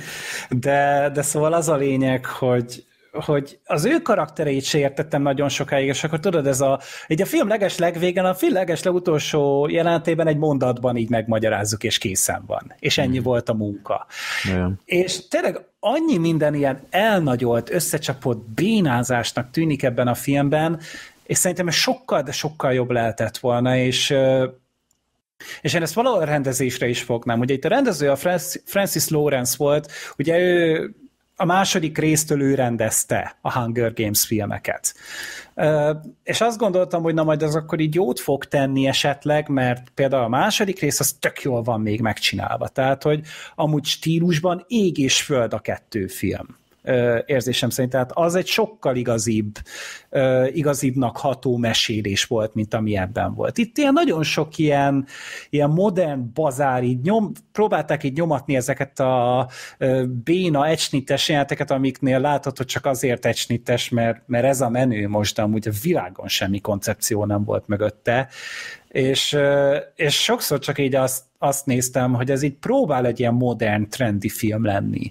Míg a, a, a korábbi Hunger Games filmek, tehát hiszem 2013-as az el, nem 2012-es a, az első érzők viadala talán, és hogy, hogy akkor meg így az maga volt a fiatalos trendi film, és az még nem próbált az lenni.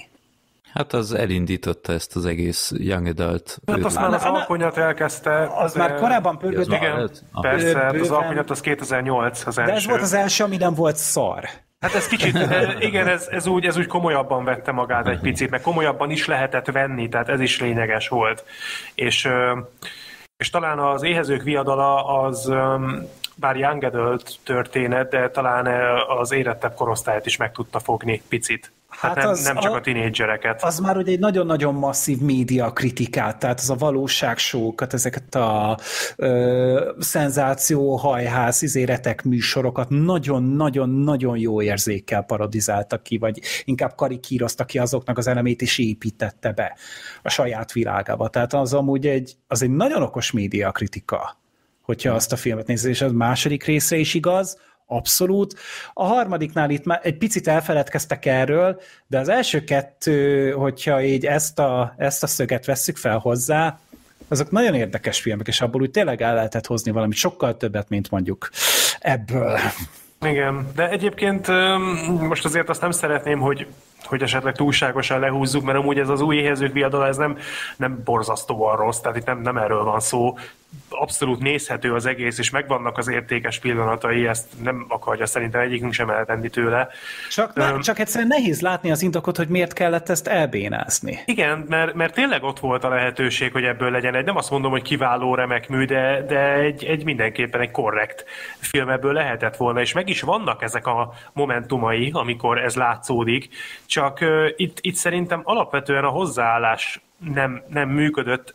Itt én, én abszolút nem értem tényleg, hogy miért kellett ezt több mint két és fél órásra készíteni, mert, semmi nem indokolta, illetve ez a fajta szakaszosság és történet daraboltság, ami ebben a filmben van, ez regényben lehet, hogy működik, de itt a forgatókönyvön szerintem nagyon kellett volna még dolgozni, mert, mert nagyon, ahogy mondtuk is, szétesik az egész, nincs egy egységes hangulata, nem, engem, most csak a magam nevében beszélek, nem, nem tudod beszippantani.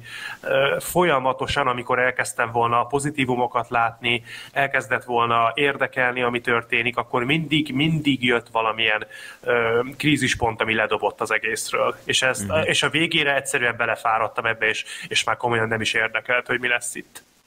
Nagyon ritkán mondok ilyet, de ez lehetett volna amúgy kettő film szerintem. Hogy ugye a viadalt elmesélik mondjuk az első kettőben, vagy az első filmben, ugye az első kettő fejezetet, és akkor a harmadikat meg rendesen kibontják egy nagy valamivé, és akkor mondjuk egy ilyen kettő ilyen 110 perces filmet csinálnak belőle, és akkor nem, nem fogjuk ezt a, ezt a félig megemésztett étkezési trágyát nézni, hanem ebből így szépen össze lehetne komponálni egy, egy mutatós fogást. Igen. Hát csak ilyen finanszírozás szempontjából nem hiszem, hogy bevállaltak volna egy ilyet, hogy egy, egy olyan filmnél, ami nem is biztos, hogy visszahozza a lóvéját, és hát nem tudom, most bár erőre kapott a film, de azért talán még, mégis inkább bukás, mint nem. Pont, pont adás előtt néztem, hogy ö, azt hiszem 170 milliónál tart világszerte, ami... Ez, ez még kevés. De, ez... de hogy, hogy ugye a film az jól tartja magát, úgyhogy valószínűleg amúgy e- pénzüknél lesznek, és hogyha egy picit amúgy lehet, hogy erősebben sikerül a film jobb a szájhagyomány, akkor ez is amúgy még messzebb menetelhetett volna. Úgyhogy szerintem ez a, ez a film ez magasabbra is juthatott volna, hogyha egy picit, hát tökösebbek? Ja, tökösebbek hát a készítők. Hát meg, meg azért nagy szerencséje van most az időzítéssel Ja, hogy nincs semmi Igen. film. Igen. ja. Ez, hát ez meg, meg az, az zavart még, hogy igazából van ez a tök jó mentor ötlet, de nem igazán csináltak ebből semmit, mert például a, a többi, hát nevezük őket versenyzőt, ö, abszolút elkerült a film, tehát itt, hogy, hogy náluk mivel próbálkoznak, meg, tehát e, ebből is valami, valami média szatírát ki lehetett volna hozni, vagy akármit, de de nem, valahogy mindig csak a felszínt kapargatja az ötleteivel ez a film, és, és tehát hogyha ott van vége a filmnek, hogy vége a, a, a viadalnak, aminek a vége, ahogy mondtam, nekem annyira nem tetszett, de annak tükrében, hogy utána még mi volt jó 40 percig, lehet, hogy a szerencsés lett volna, hogyha ott azzal zárják le, és akkor, akkor oda csesznek oda egy ilyen, ilyen gonosz eredet sztorit valami oknál fogva, de, de én is ott értetlenül néztem ezt a harmadik felvonást, hogy mi az Isten nézek én itt. Hát ez a tipikus Jó. esete, hogy megnézni azt, azt lehet, mert, mert végül is végignézhető, de hogy miért nézze meg bárki, arra már nehéz okokat ha, mondani. Ha megnézed, nem halsz bele Igen. egyáltalán, de ha kihagyod, még a sorozat rajongójaként is, akkor, akkor sem marasz le igazából szerintem semmiről. Hát a Hunger Games fanok, akik, akiknek hiányzik az a hangulat, ami, ami ott volt a korai filmekben, abból itt is így kapsz egy ilyen, egy ilyen tudod, mint amikor a szeszfüggő így ráugrik a, a rakétára, vagy a kőműves aktimerre, vagy legalább egy pici kis rossz ízű, de barack ízű szeszes italt még így lecsaphat így a függőségére. Na ez az a fajta film. Mi az a rakéta? Hát ez a ki, kis üveges szeszeket hívják így másik néven. Tüskék? Vagy? A tüske is, kőműves aktimel, rakéta, ezeknek mind. Rakétát még én sem hallottam. De az egy rakéta pedig. hm. Jó. Menjünk tovább? Hát szerintem... Hát, ja. Nem tudom, hát rúg, rúg, na, rúghatunk még egy párat. Egyszerre akartam mondani két mondatot, és nem sikerült. Szóval rúghatunk még párat az új éhezők viadalába, de szerintem tehát sokkal többet beszéltünk most mi erről a filmről, mint szerintem a brainstormingokon, amikor összeültek összeírni a forgatókönyvet, hogy, hogy akkor hogy álljon ez össze. Mondom, akit, akit érdekel, az nézzen mást inkább. Mert, mert tényleg, tényleg nem, nem, sajnos nem valami jó. Nézzenek-e inkább Napóleont, akkor most ezt fogjuk kitárgyalni. Egy ugyanolyan hosszú filmet. Igen. Ami lesz majd még egyébként hosszabb is, mert ugye elvileg jön a rendezői verzió majd streamingre. Igen, erről is fogunk majd beszélni. Ezt a Gergő meg én láttam, a Sorter elvileg holnap nézni. Igen, igen. Úgyhogy légy ne spoilerezzetek. A Napóleon életéből fordul, jó, majd próbálunk. Tudod, mi történt Waterloo-ban? A végén nem hal meg, ugye? Jó, ö, akkor, akkor most átadom neked a szót, Gergő, hogy foglald össze. Aha. Miről szól, meg ki, melyik, melyik rendező mágus hozta ezt össze?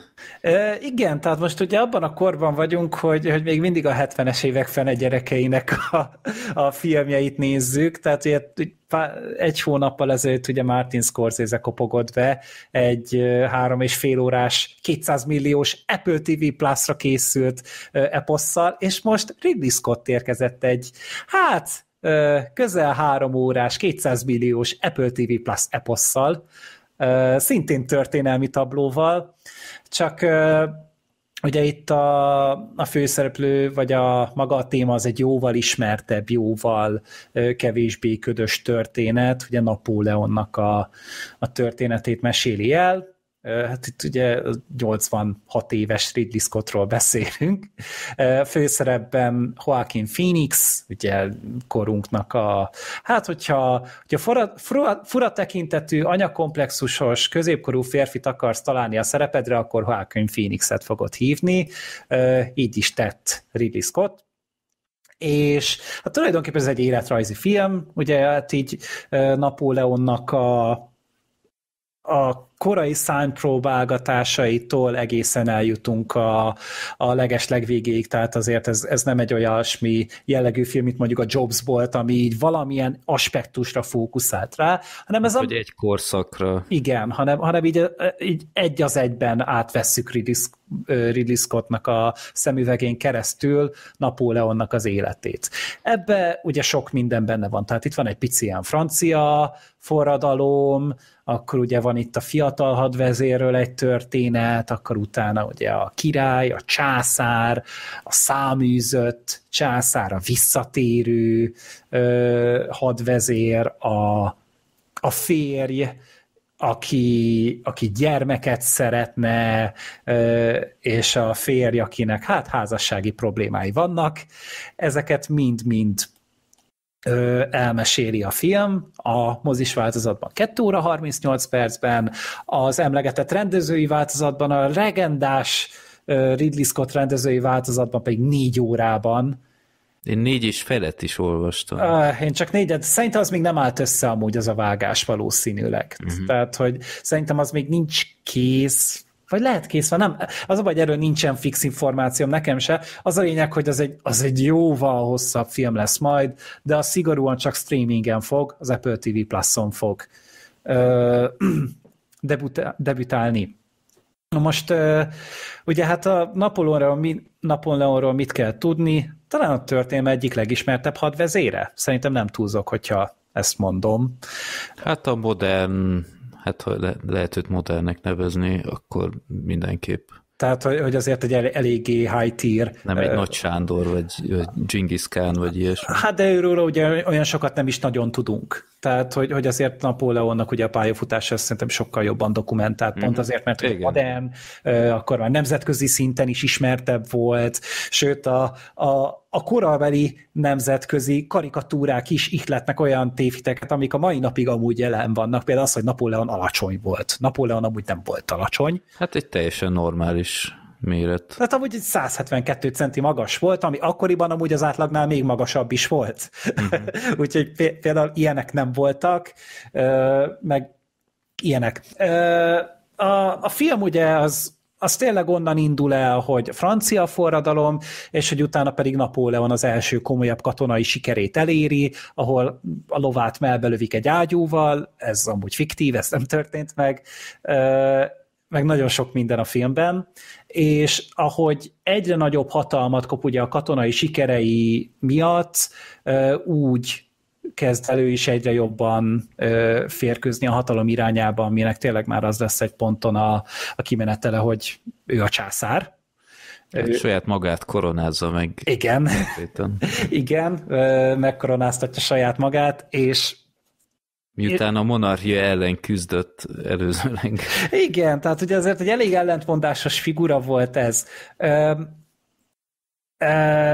Hát ugye több aspektusból lehet ezt a filmet nézni. Egyrészt ugye tényleg a hadvezér aspektus, hogy milyenek a csaták, milyenek ezek a dolgok a filmben, fantasztikus. Tehát szerintem az összes csata jelenet az óriási teljesítmény, nagyon jól néz neki, nagyon látszik rajta az elköltött pénz, és tényleg ilyen nagy, epikus, rengeteg statisztát mozgató őrület, vizuálisan is impresszív, tehát akár az effekteket nézzük, akár tényleg a, a jelmezeket, a díszleteket, a mindent. Hát ez egy, ez egy 20 perce a filmnek szerintem, vagy maximum 25 perce, tehát azért nem, nem kell olyan nagyon-nagyon sokra számítani, de ami van, az, az tényleg olyan, mint hogyha egy rendező legenda csinálta volna.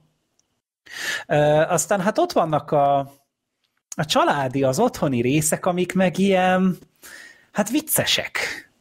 És hogy nem csak az, hogy, hogy, hogy, hogy annyira balfasz a Ridley Scott, hogy ezt nem tudja rendesen megcsinálni, hanem hogy tényleg ilyen szatírába hajlóan, esetlenkedő, szerencsétlenkedő karakter a Napóleon.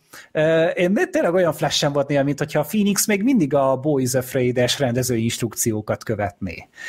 Tehát amikor, hmm. hát így kipróbálják... Ideig nem mennék azért. Amikor kipróbálják azt, hogy, hogy vajon ő a terméketlen vagy sem, és ugye ott az anyukája átküldi a másik szobába, ott ordított a közönség a röhögéstől.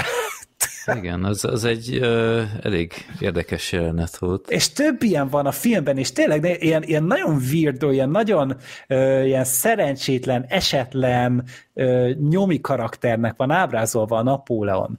És ez a kettőség az egészet behálózza, mert hogy tényleg amikor a csatákban van, akkor meg nagyon karizmatikus a Phoenixnek is a megjelenése, meg a játéka.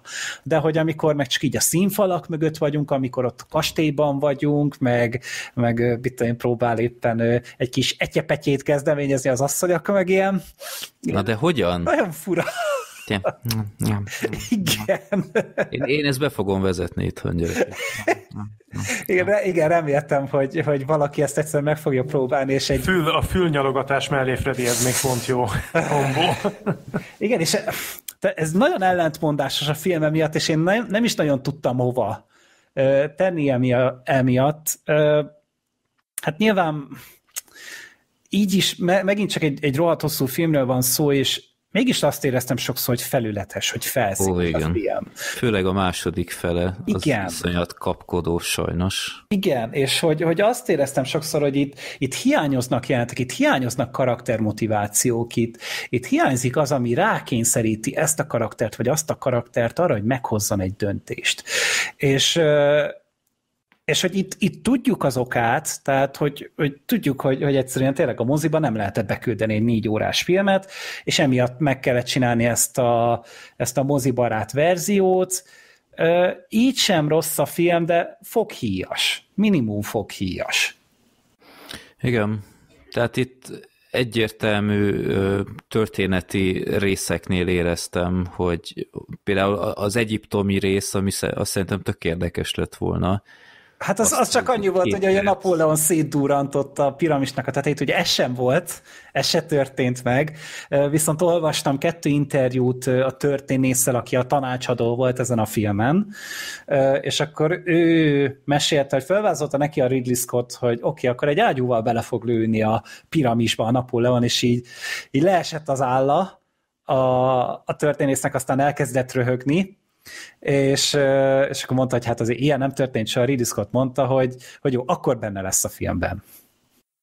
Hát, jó, én, én ilyenen nem problémázok, mert most szerintem egy ilyen, ilyen manisátnak gondolták, de Hát így tudta a Scott a legegyszerűbben nagyon. bemutatni, hogy nagyon hamar leigázta Egyiptomot. Igen, csak hogy mondjuk miért volt ott, azt szerintem nem volt annyira jól ki, vagy, vagy bemutatva. Úgy általában a, a korszakok közti ugrást szerintem rosszul csinálta a film, hogy, uh-huh. hogy nem tudtad, hogy, hogy most belpolitikailag, külpolitikailag, hadi szempontból hol áll most éppen az ország, tehát néha ilyen, ilyen kiírásoknak tökre örültem volna, hogy, hogy éppen milyen front van, hány év telt el az előző jelenet óta, mert, mert nem volt egyszerű ám itt behatár, vagy meghatározni, hogy, hogy most éppen ő most jó formában van a sereggel, vagy, vagy meg, meg az évszámokat elárulta a film, nem? Meg karakterneveket is adott, hogyha jól emlékszem. Tehát, hogy az a ki voltak írva Hébe-hóba voltak évszámok, de, de nem, tehát nem, nem éreztem azt, hogy, hogy képben lennék, hogy mi történt azóta, meg, meg hol tartanak a dolgok. Nem, én, én itt kicsit, még úgy is, hogy úgy, ahogy képben vagyok a, a Napóleon életével, voltam is a sírjánál amúgy ott Párizsban, az egyetlen jó hely volt az elcseszett párizsi nyaralásomon. Egy hogy, sír! Egy, de ott, tényleg ott volt egy nagyon jó kiállítás mellett a világháború, egyébként Párizs egy, egy katasztrófa. Leg, legrosszabb nyaralásom volt valaha az a, az a pár napot, de a, annak a sírnak azért van egy óriási monumentalitása, azt nem lehet elvenni tőle. De ja igen, hogy, hogy a Napóleonnál például tökre tökre megnéztem volna, vagy ezt a film nem tudta jól átadni, hogy ő mitől volt különleges. Tehát, hogy ő mint, mint hadvezér sem volt mindig teljesen egyértelmű, kívül az elején mondjuk a legelső csatánál, ott egész jól ki volt ö, fejtve, az is volt a kedvenc csata jelenet amúgy, amúgy. Az jó volt az amúgy. Szakai. Bár, bár ő maga amúgy sosem vett részt csatában, tehát ő sosem ment előre, tehát hogy ő mindig a háttérben volt. És csak hogy hogy érte el ez a, ez a fickó, hogy császár legyen. Tehát személyiségileg azt lehet tudni, hogy ő politikusként soha nem volt olyan jó, mint hadvezérként, uh-huh. vagy ilyen stratéga, ez, ez is dokumentálva lett például, amikor ott, ott kihajítják az a, nem, nem is tudom, a tanácsnál, vagy hogy. Ja, kikergették? Kikergették, kikergették. Ez, ez, ha jól tudom, ez valóban nagyjából így zajlott. Na mondjuk de... az, hogy az fel volt oldva, az rohadt jó volt. Igen, igen, az is pont úgy volt amúgy, ha, ha jól tudom, de hogy valahogy nem, ne, nem jött át, hogy mitől volt ez az ember a nép szemében is különleges, azon kívül, hogy csatákat nyert. Ezt így valahogy jobban jobban ki kellett volna fejteni szerintem. De, Amúgy olyan de... szuper népszerű nem volt a Napóleon a franciák körében. Hát a seregnél volt Ott igen, közkedvelt. De a nép és... az nem rajongott érte túlzottan. Igen, igen. Szóval az a, az a baj, hogy, hogy fura ennél a filmnél sok mindent kritizálni, mert, mert mindenre választ adhat, hogy oké, okay, de majd ott lesz az a plusz négy órás film, ami remélhetőleg kiavítja ezeket a dolgokat. Te ezt amúgy meg fogod nézni? Én bizisten meg fogom nézni. Amint kijön? Vagy vár, vársz vele, amíg pedig? Hát nem hiszem, hogy az idén kijön, de... Szerintem se fog idén, szerintem Szerint... év elején valamikor. Én, én minél hamarabb szeretném, hogy még friss legyen, hogy, uh-huh. hogy milyen különbségek voltak, mert, mert tényleg érdekel, mert biztos, hogy nem... Öm, nem ilyen, ilyen Josephines jelenetekkel fogják még jobban kitölteni szerintem, hanem inkább... Mondjuk abból is el kellene szerintem. Igen, határozottan, de, de elsősorban én, én más területen várok plusz jeleneteket, meg, meg magyarázatot. Nem hiszem, hogy csata jelenetből ott sokkal többet kapnák, mert azokat nyilván, ha már drága pénzért leforgatták, azokat ide rakták bele, de én nekem nagy elvárása, elvárásaim vannak azzal szemben. Hát kíváncsi leszek, mert ö, nyilván most ott van benne a potenciál, de ugye a Ridley Scott az meg tényleg jól meg tudja csinálni ezeket a rendezői cuccokat. Úgyhogy amiatt így én is majd valószínűleg rá fogok menni. És te a Józefinás témáról mit gondoltál? Ö, hát azt, az, az mondjuk közismert, hogy az ő kapcsolatuk rendkívül érdekes volt. Hát viharos, minimum. Igen, tehát ott ez, ezt a film szerintem jól átadta, hogy ilyen se veled, se nélküled fajta kapcsolatuk volt. Nekem tetszett a Vanessa Kirby alakítása. Ő nagyon. Ő, ő, nagyon. Ő, most már a nevét is meg tudom jegyezni, és nem tudom, ő valamiért. Mindig összekeverem, hogy honnan ismerem, de most a legkésőbb a legutóbbi Mission Impossible után most már tényleg igyekszem megegyezni. De ő ritkán okoz csalódást, jó, jó volt nagyon, a kapcsolatuk is érdekes volt. És a Phoenix? A Phoenix is jó volt szerint, tehát én nem vagyok a világ legnagyobb Joaquin Phoenix rajongója, mert, mert ő, kicsit, mint a, mint a Johnny Depp, sokszor ilyen nagyon nagyon ilyen elvont figurák felé vonzódik, uh-huh. ami vagy jól sül el, vagy kicsit olyan, mint a, a Bowie's Afraid-ben. Uh-huh. Um, itt szerintem jól, jól illett teljesen, egy, szerintem élte a karaktert is. Nekem tetszett a játéka. Igen, tehát hogy, hogy ezt, ezt a kettőséget jól csinálta, hogy tényleg mind a kettő jól állt neki, csak őt pont nem egy ilyennek képzelted a, a korábbi filmjei alapján, szerintem. De hát nyilván most tudjuk, hogy a Phoenix azért egy nagyon sokoldalú színész, és egy elképesztően nagy tehetség, és ezzel is igazából csak még jobban bebetonozta a saját státuszát, mm-hmm. úgyhogy, úgyhogy tényleg én is így minden, minden elismerésemet megadom neki. Meg ami nagyon tetszett, hogy a, a koronázási jelenetet, nem tudom én, biztos feltűn neked is, hogy van ez a híres festmény. Aha. Hogy ezt gyakorlatilag így rekonstruálták, az, az szerintem egy kifejezetten jó ötlet volt. Uh-huh. Igen, igen, hogy igen. gyakorlatilag az az egyetlen olyan igazi ö, kép arról a, a jelenetről, arról az eseményről, és akkor tényleg így meg, megfilmesítették, azt szerintem kifejezetten jól sikerült. Meg két és fél óra, sőt azt hiszem több mint két és fél óra, de nem érződött a hossza. Szerintem azáltal, hogy annyi minden történt, annyi helyszínen volt, tényleg ritkán repül el így idő szerintem két és fél órás filmnél. Hát nekem az első felénél egy picit lankadozott, amikor még tudod a, az, ahogy ő kapaszkodik fel, meg ahogy létrejön ez a kapcsolata a Józefinával, az nekem egy picit mm. lassú volt, de a második felétől iszonyatos tempóba kapcsolt a film. Igen. Ö, mit írtam még? Ö, ja, még ami tökre feltűnt, hogy már mondtad, hogy, hogy ugye elterjesztették ezt a plegykát az ellenségek, hogy a Napóleon egy ilyen törpe. Igen. Az angol, hogy, ko, ö, hogy hívják, karikatúralapok hozták létre ezt a jelenséget. Igen, és ez egy szóval nem jelent meg a filmben, sem az, mi az, mi az a másik dolog a kalapon kívül, amit mindenki összeköt, összeköt Napóleonnal. Az orra? Nem, hanem hogy a, a kezét oda hasához tartja, ott a, becsúsztatja a uh-huh. gomboknál. És abszolút nem, nem volt ez téma a filmben. Hát lehet majd a rendezőiben.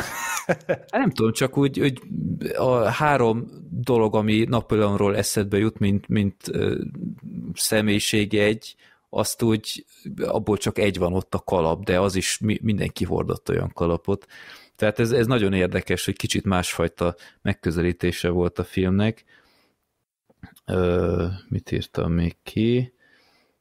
Ö, ja igen, a, a film vége az nekem viszont fura volt. Tehát itt pont azt éreztem, amit te is mondtál, hogy, hogy nem tudtam teljesen értelmezni, hogy most a Ridley Scott ezzel a filmmel hogy viszonyul a Napóleonhoz. Szerintem nem kedveli, mert hát most azért mégiscsak egy, egy angol fickó rendezett egy francia fickóról egy filmet, és hát már, ez már a filmben is tematizálva, hogy az angolok és a franciák nem szeretik egymást. Na jó, de hát érted, mégis egy hatalmas történelmi figura, de például a film végén ezek a kiírások a veszteségekkel, csak és kizárólag a veszteségekkel, ami a, a hadi karrierjét illeti, uh-huh.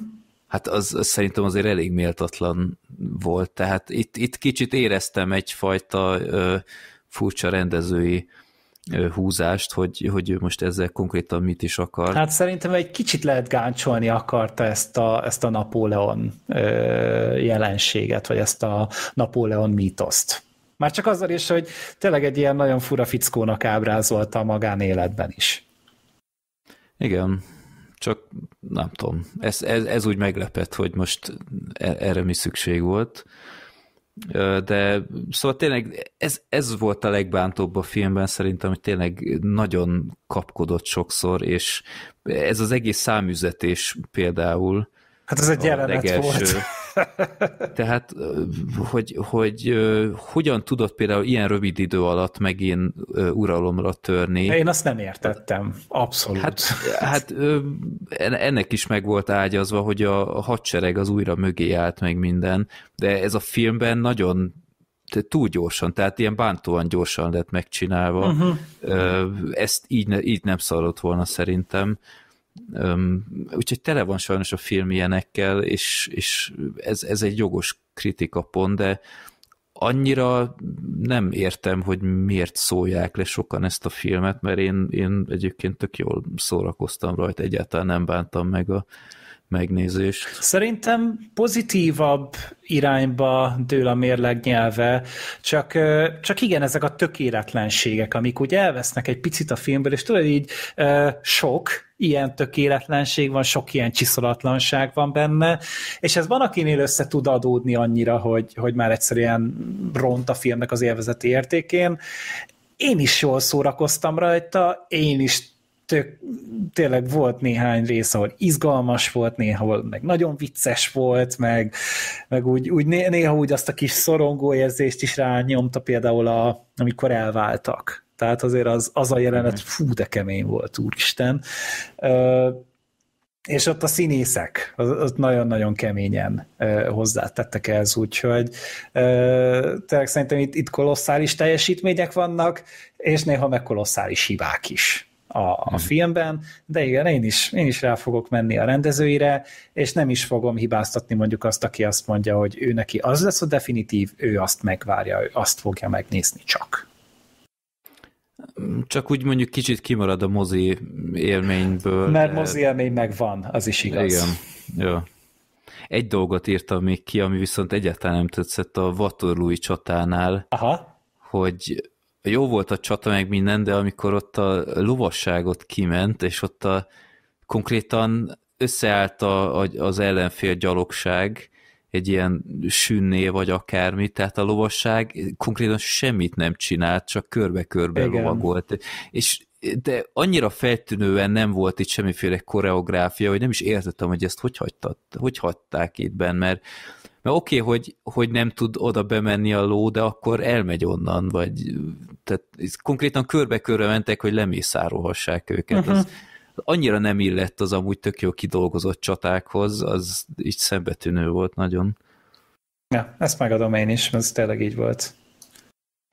Még egy dolgot megemlítek, hogy nekem nem tudom honnan, mindig is megvolt egy ilyen Napóleon képregényem, ilyen zöld kerete volt, ilyen iszonyat lenyűgöző képkockákat, tehát csatás, meg minden, de annyira, tehát az még ennél is sokkal kapkodós, tehát ott két képkocka alatt lezajlanak egész csaták, hmm. de most, hogy megnéztem ezt a filmet, direkt elolvastam azt a képregényt, hogy kicsit jobban megértsem, mert mindig csak a, mindig megpróbáltam gyerekként elolvasni, de nem tudtam értelmezni, és nem okolom magam, mert értelmezhetetlenül le van rövidítve minden, de most valamivel tisztább lett, de még így is iszonyat kapkodós, úgyhogy a négy órás verzió után teszek vele még egy próbát, nem is tudom, ilyen ilyen jó, jó vastag kis képregény, amikor annó Töribent Napóleont tanultuk, akkor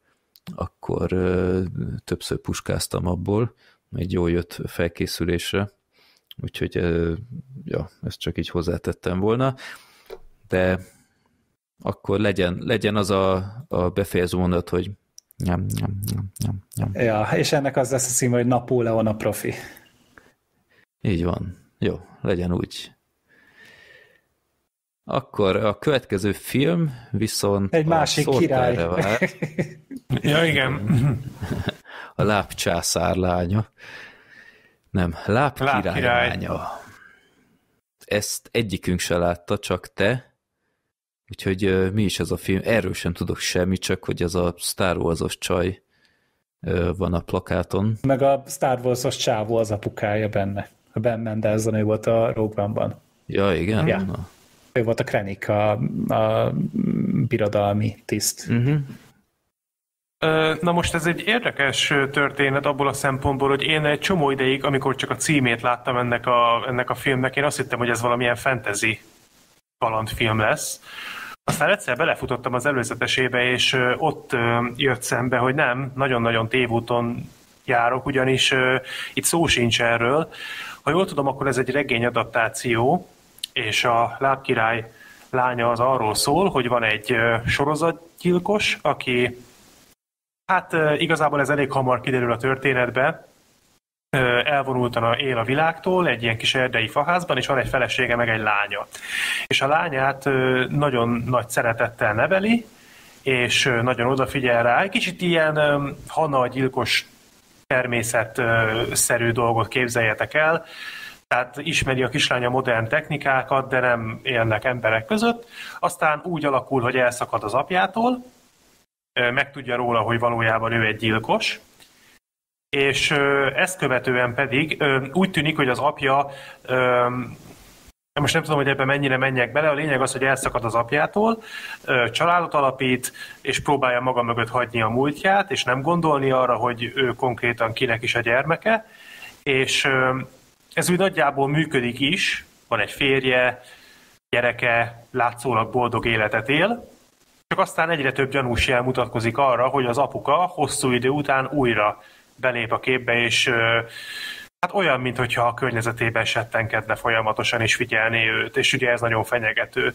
És tulajdonképpen ezt a konfliktust járja körül a film, kicsit több, mint másfél órában, Tulajdonképpen olyan túl sok mindent nem tudok mondani. Mondom, engem a sztori az, az megfogott. Én szeretem az ilyen jellegű és ilyen témájú történeteket, ezeket ilyen tök jó thrilleres módon el lehet készíteni.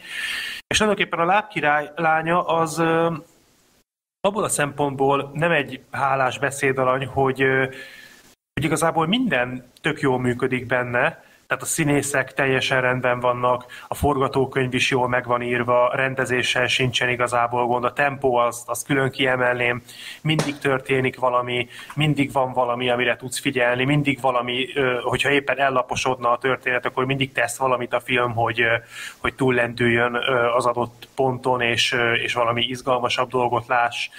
A családi, bocsánat, családi drámát is jó kibontja, van egy nagyon szimpatikus szereplő, a nagyapa. Ő egy ö, első látásra kicsit, tehát először kicsit úgy tűnhet, hogy hirtelen kerül be újra a, köz, a főszereplőnek a látómezejébe, de egy, egy meglepően szimpatikus és azonosulható figura.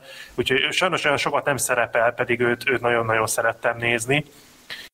Szóval minden rendben van a filmben, de minden csak annyira van rendben, hogy amíg nézed, addig tök jól elszórakozol. Viszont utána én nem tartom valószínűnek, hogy olyan nagyon gyakran eszedbe jutna ez a történet. Most nyilván ugye fölmerül a kérdés, hogy miért hát nem elég ennyi, hogy adott ideig leköti a figyelmedet, és de tulajdonképpen elég, mert hogyha egy film ezt a szintet tudja hozni, az már egy eredmény. De valahogy azt érzem, hogy talán több erő volt ebben a filmben, sokkal több erő marad benne, mint amennyit végül kiadtak belőle szerintem. Az a baj, hogy ez a, ez a történet, ez érzelmileg kellene, hogy működjön elsősorban, és működik is, de nincsen katartikus ereje. Pedig ez egy, ez egy olyan sztori, ami, ami ezt elbírná, talán az egy erős kifejezés lenne, hogy indokolt lenne, és hogyha ez nem így, nem ebben az erőben történik meg, akkor, akkor az nem működik annyira jól. Ezt azért nem mondanám, mert így is hoz egy tök jó szintet, korrekt szintet. Hmm, itt elsősorban a fináléra gondolok, itt egy elég hosszú finálét kapunk egyébként, szerintem legalább fél óra a, a történetnek a, a lecsengése és a katarzisa, és ott vannak nagyon erős pillanatok. Annyit elárulok, remélem, hogy vele kevésbé sem spoiler, a film végén van egy elég hosszú párbeszéd, és ott, ott, ott vannak nagyon-nagyon emlékezetes pontjai a filmnek, azok, az tényleg nagyon jól van megrendezve, végig átjárja a feszültség, de ez a, ez a szelíd feszültség, amikor igazából senki nem viselkedik fenyegetően, de mégis érzed a levegőben, hogy hú basszus, itt, itt akármelyik pillanatban robbanhat az egész, és ez a néhány perc, ez nagyon rendben van, de valahogy a film többi része nem tud erre a szintre eljutni, hanem megmarad azon a szinten, hogy oké, okay, hát megnéztem, jó volt, de most igazából olyan sokat nem épültem ebből. Úgyhogy sokkal több mindent nem tudok igazából elmondani. Én abszolút nem bánom, hogy megnéztem. A regényre egyébként kíváncsi lennék, hogy ez a történet, ez írott formában hogy működik. Ott lehet, hogy, hogy kicsit jobban át tudjuk érezni az egésznek a, az érzelmi öm, voltát, mm, és akkor talán így emlékezetesebb is a sztori. Igazából én szerintem amúgy nektek tetszene ez a film. Én nem tudom, volt valami konkrét oka, hogy nem akartátok megnézni, vagy egyszerűen csak így nem fért bele az időbe, vagy volt, volt valami más, amit inkább néztetek volna? Részemről úgy nézett ki hogy engem érdekelt volna kezdésből, csak valamiért azt, azt a vibe-ot kaptam belőle, hogy, hogy ez tipikusan az a film, amit itt teleraknak sztárokkal, de annyira nem tetszik a stúdiónak a végeredmény, hogy egy ponton egyszerűen elfelejtik marketingelni. És inkább így eltemetik valahol az őszi szezonban, és akkor ez a film így elfelejtődik szépen lassan. És utána a kritikák így kb. ezt tükrözték vissza nekem, úgyhogy úgy voltam vele, hogy nem rohanok érte moziba. Uh-huh. De majd előfordultam úgy, hogy én ezt meg fogom nézni kicsivel később, hogy hogy legalább két nappal tovább éljen a filmnek az emléke ezáltal. Jó. Freddy, te? Én se időm nagyon nem volt arra, hogy egy, egy plakát alapján ezt megnézem. Tényleg semmit nem tudtam róla, meg rossz emlékeket idézett a, Star Wars filmekről az a nő, mm. úgyhogy nem tudom, valahogy nem volt a prioristán. Más filmet sokkal inkább megnéznék, de, mm. de nem, Elég fér mozibérleted is van. Igen. Hát igen, hát arról is beszélni kéne, hogy milyen rossz időpontokból vetítenek mindent, de uh-huh. ja. Ö, igazából úgy tudnám ezt összefoglalni így röviden egy mondatba, hogy ez a tipikus, tipikus példája annak, hogyha nem moziban nézett persze, hogy egy esős, unalmasabb szombat este mondjuk. Arra, arra viszont teljesen, teljesen oké. Okay. Csak mint ahogy azt már kifejtettem az előbb, én egy picikét bánom, hogy, hogy csak ennyi. Még akkor is, hogyha egyébként ez egyszer egynek bőven elég. Menjünk tovább? Én, én elmondtam, amit szerettem volna.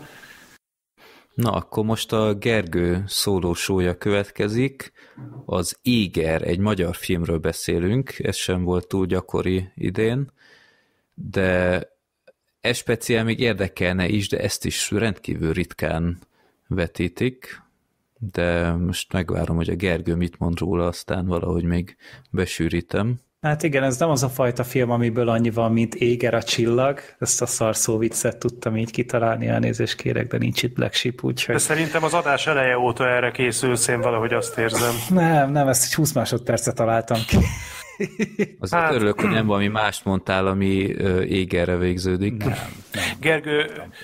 Gergő, egy klasszikus magyar mémet fogok válaszként adni, hogy hát kár volt, basz meg. Azt adok, amit tudok, nem azt, amit szeretnétek. Ez a podcastnek a lényeges srácok. Jó, az igyekezetedet nagyon értékeljük. E, igen, igen, szóval ez egy újabb magyar filmünk, ugye nem voltunk talán idén meg úgy mostanában eleresztve ezekkel, bár mondjuk, de volt a magyarázat mindenre is, ami tök jó volt, tök, tök nagy élmény volt, meg nézték is az emberek. Csak ugye így mindegyiknek ez a közös nevezője, hogy úgy hát pici pénzből, és tényleg így inkább kreatívan, mint nagyban gondolkodva kell ezeket a filmeket elkészíteni, és ez az első filmes rendezőnek a munkája, ugye a Nagyborús Leventének. Én még Twitteren követtem annó, vagy ott találkoztam el először, szerintem még sorozatokat fordítgatott, és még a, a, amiatt követtem be Twitteren, és és ő utána készített két rövid magyar filmet, az egyik ugye a Tantrum volt, az az HBO Max-en elérhetővé is vált, az egy nagy monológ a Nagy Zsoltal. A, a másodiknak most nem fogom tudni megmondani a címét, de az a lényeg, hogy így azt követően azok voltak így a felvezetések, és most pedig egy nagy játékfilmet készített, ez egy hát bűnügyi, családi történet, tehát azért itt a bűnügyet ne úgy értsétek, hogy nyomozó van benne, vagy rendőr, vagy bármi, tehát nem a rendvédelmi, meg a hatóság szemszögéből van bemutatva a film, hanem van egy családi tragédia, konkrétan ugye egy, egy anyuka és, egy, és az ő lánya, értekezik, beszélget egy esetlőre, ami érintette ugye az anyukának a férjét, a lánynak pedig az apukáját, és ennek a történetét mesélik el egy 116 percben azért úgy vannak, vannak ismerős arcok a, a stában, tehát Kálid Artúr, a Péter Fibori, ugye a Nagy Zsolt, tehát ő, őket azért szerintem úgy, hogyha máshonnan nem, hát arcról biztos. Kálid Artúrt meg hangról fel fogjátok ismerni, mert ő Jamie Fox minden pillanatban.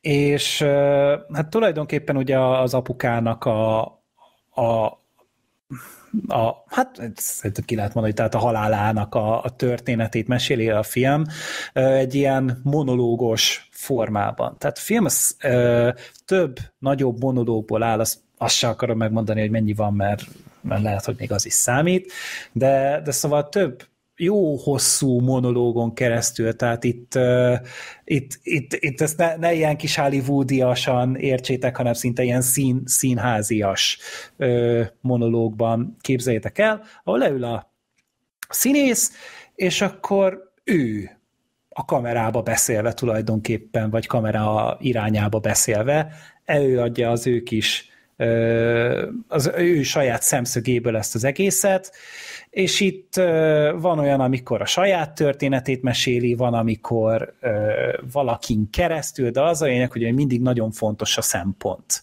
amit alkalmaz a, a, forgatókönyv meg a rendezés. És mivel ugye ilyen, tehát itt nem ilyen nagy fancy rendezői megoldásokra kell gondolni, hanem itt ez az egész a forgatókönyvön múlik, meg a színészekkel múlik, iszonyatosan profi színészeket alkalmaztak, hihetetlen nagyot játszanak mindannyian, és hogy a forgatókönyv minőségét is mondjam, jól vannak megírva ezek a monológok. Van mindegyiknek egy szép íve, mindegyikben van az elején egy icike-picike rejtély, amíg még próbálod elhelyezni, hogy, hogy ez most hol van a történetben, ez kinek a szemszögéből meséli, hogy ez hova fog kifutni, és ahogy haladsz előre, hogy szépen lassan az összes eléri a csúcspontját, és akkor úgy mindig van egy ilyen, egy ilyen megvilágosodás pillanat ezeknek a végén, és emiatt ez, ez nagyon ügyesen van megoldva, és tényleg úgy, úgy viszi az embernek a, a tekintetét, és pont emiatt ugye, hogy, hogy én nem láttam még soha ilyen monológos filmet, ami így ennyire erre feküdt volna rá. Tehát hát jó, párbeszéden alapuló filmet láttunk már, de a monológ az egy teljesen, teljesen másik műfaj, és emiatt érdekesnek tartottam, hogy igen, így hidalta át azt a készítő, hogy, hogy szűkös egy kicsit a büdzsé, ugye nem tudtak sok díszletet építeni, nem lehetett sok színészt ugye alkalmazni, úgyhogy inkább rámentek a minőségre, mint a mennyiségre, és, és akkor tényleg nagyon-nagyon jó profi színészekkel, egyszerű eszközökkel mesélték el a sztorit, és, és tényleg hogyha egy végig gondolod azt, hogy, hogy mi volt az a történet, és mi volt az, ugye ez a, ez a kicsinyes sorsrontás, ez, hogy az emberek tényleg így a másiknak a, a kárán, vagy éppen irítségből mit képesek elkövetni, ez egy, ez egy nagyon-nagyon érdekes tükröt mutat így a társadalmunkkal szemben. Úgyhogy ez is tök helyén van. Az egyetlen dolog, ami ebből az egészből elvesz, hogy pont a, a monotonitása a dolognak, hogy hogyha egyszer kiismered a filmnek a formanyelvét, akkor utána igazából már nem tud feltétlenül újat mutatni. Tehát, és már ez egy ponton picit úgy redundánsá is válik. Tehát amikor elindult az utolsó monológ, ott ott felnevetett a közönség, hogy, hogy tudták, hogy mi fog következni, hogy akkor megint, ö, ö, mint hogyha megfordítanánk a kazettát, is lejátszanánk ugyanazt. Ö, és így, így emiatt egy picit szerintem fárad a film, de ez is egy olyan dolog, hogy, hogy igen, egy, egy kísérletezőbb szemszögből álltak neki, és ezt kipróbálták, és akkor láthattunk egy ilyet, ez, ez nem olyan, amit általában szerintem így a moziban megkapunk, tehát hogy, hogy nem, nem ehhez van szokva a közönség, de például ehhez képest, hát pici teremben néztük, tehát a moziban, de egészen sokan voltak, és, és lekötötte a közönséget. Én azt gondoltam, hogy így nagyon sokan unni fogják magukat, de úgy láttam, hogy nyugiban mindenki végülti, mint hogyha amúgy tudták volna, hogy milyen filmre jönnek. Én annyira nem voltam vele tisztában, nem néztem előzetes meg ilyeneket, csak ö, gondoltam akkor ö, lássunk ilyet is. Úgyhogy én azt mondom, hogy ha még el tudjátok kapni a moziban, és valamilyen kis különlegesebb élménye vágytok, meg tényleg jó a történet, akkor amúgy menjetek el rá, mert hát sajnos nem volt erős az első hét, úgyhogy lehet, hogy már nagyon sok helyről le is vették, vagy nagyon sok moziban le is vették a műsorról. Hogyha esetleg még el tudjátok kapni, akkor, akkor nézzétek meg, mert igen, maga a stílus az érdekes, de hogy nincsen amúgy túl művészkedve, nincsen uh, ilyen, ilyen nagyon sok értelműen, ilyen nagyon uh, ködösen előadva az egész, ahogy néhány uh, ilyen meredekebb koncepciójú megpróbálja, hanem tökre követhető, és tökre amúgy ott lehet maradni a, az úton, amivel, amin elindít téged a filmes. Úgyhogy remélem, hogy amúgy még tud a kap még a Levente arra, hogy filmeket rendezzen a jövőben, és mert mert úgy tűnik, hogy izgalmas történetek vannak még a tarsajában, úgyhogy... De ez is ilyen független. Ez, ez független, tehát mondom, én szerintem ez a, ez a film az kevesebből készült, mint az éves fizetésed ránézésre, úgyhogy, úgyhogy szerintem tényleg ez egy, ez egy kisebb költségvetésű cucc volt. Lehet tényleg, 200 millából készült. Hát nem akartalak itt téged kirángatni egy a reflektorfényre, de hogyha már önként vállaltad, akkor tessék. Figyelj, te ugyanazt a Patreon pénzt kapott minden. Hát ja, csak tudod, én nem, nem akartam, hogy így elveszítsük a nézőknek a szimpátiáját, vagy esetleg, hogy kevesebben szavazzanak ezután a Patreonos szavazásokon. Fredinek szerintem tetszene, de azban viszont biztos vagyok, hogy a Sorter oda meg vissza lesz ettől a filmtől. Én is így gondolom, így előre egyébként, előzetesen egyébként. Én láttam a Tantrumot, ami ugye ennek úgymond az előzménye, vagyis hát egy ilyen mm, beta verziója, demo verziója, és nekem már az is nagyon tetszett, ugye az is egy, egy darab 50 perces vágatlan beszéd, monológ tulajdonképpen, és tényleg van hatása. Egyébként itt az égerben is vágatlanok ezek a monológok? Az utolsó vágatlan. Ott az néztem, vág... az utolsónál néztem, hogy így, tudod, vártam a vágást, mert az első kettőnél feltűnt, hogy igen, sokat vágnak, gondolom azért, mert azokat a színészeket nem lehetett olyan sokáig megtartani, nem lehetett olyan sokáig lefog, le, lefoglalni, mint az, hogy elvárjuk tőle, hogy 35 percen keresztül monologizáljanak, az utolsó viszont az, az full vágatlan, és abban hmm. szerintem sehol nincsen trükközés. Elég impresszív, amúgy a vágott monológ is, a vágatlan az meg hű. Hát most erről jutott eszembe, kicsikét így a témába vág. Nem olyan régen megnéztem a Tarbélának a Magbetjét, nem tudom, azt ismeritek-e, ez egy 60 perces tévéfilm, és konkrétan vágatlanul csinálta meg. Az uh-huh. elején, elején van egy pár perces jelenet, utána egyet vágnak, és utána a maradék egy óra az, az abszolút vágatlanul megy le, de úgy, hogy szöveghűen idézi a, a Macbethnek a szövegét. Tehát a Cserhalmi játsza a főszerepet, és konkrétan a Cserhalminak van egy ilyen, ilyen 10 perces monológokat mond. És uh-huh. hát itt mhm. tátott szájjal néztem, hogy ezt már megjegyezni is embertelen nagy művészet, nem hogy előadni. Tehát ez hihetetlen. Hmm. Nem, Tarbéla az. Igen. Ő is szeretett kísérletezni. Abszolút, mindig. igen, igen.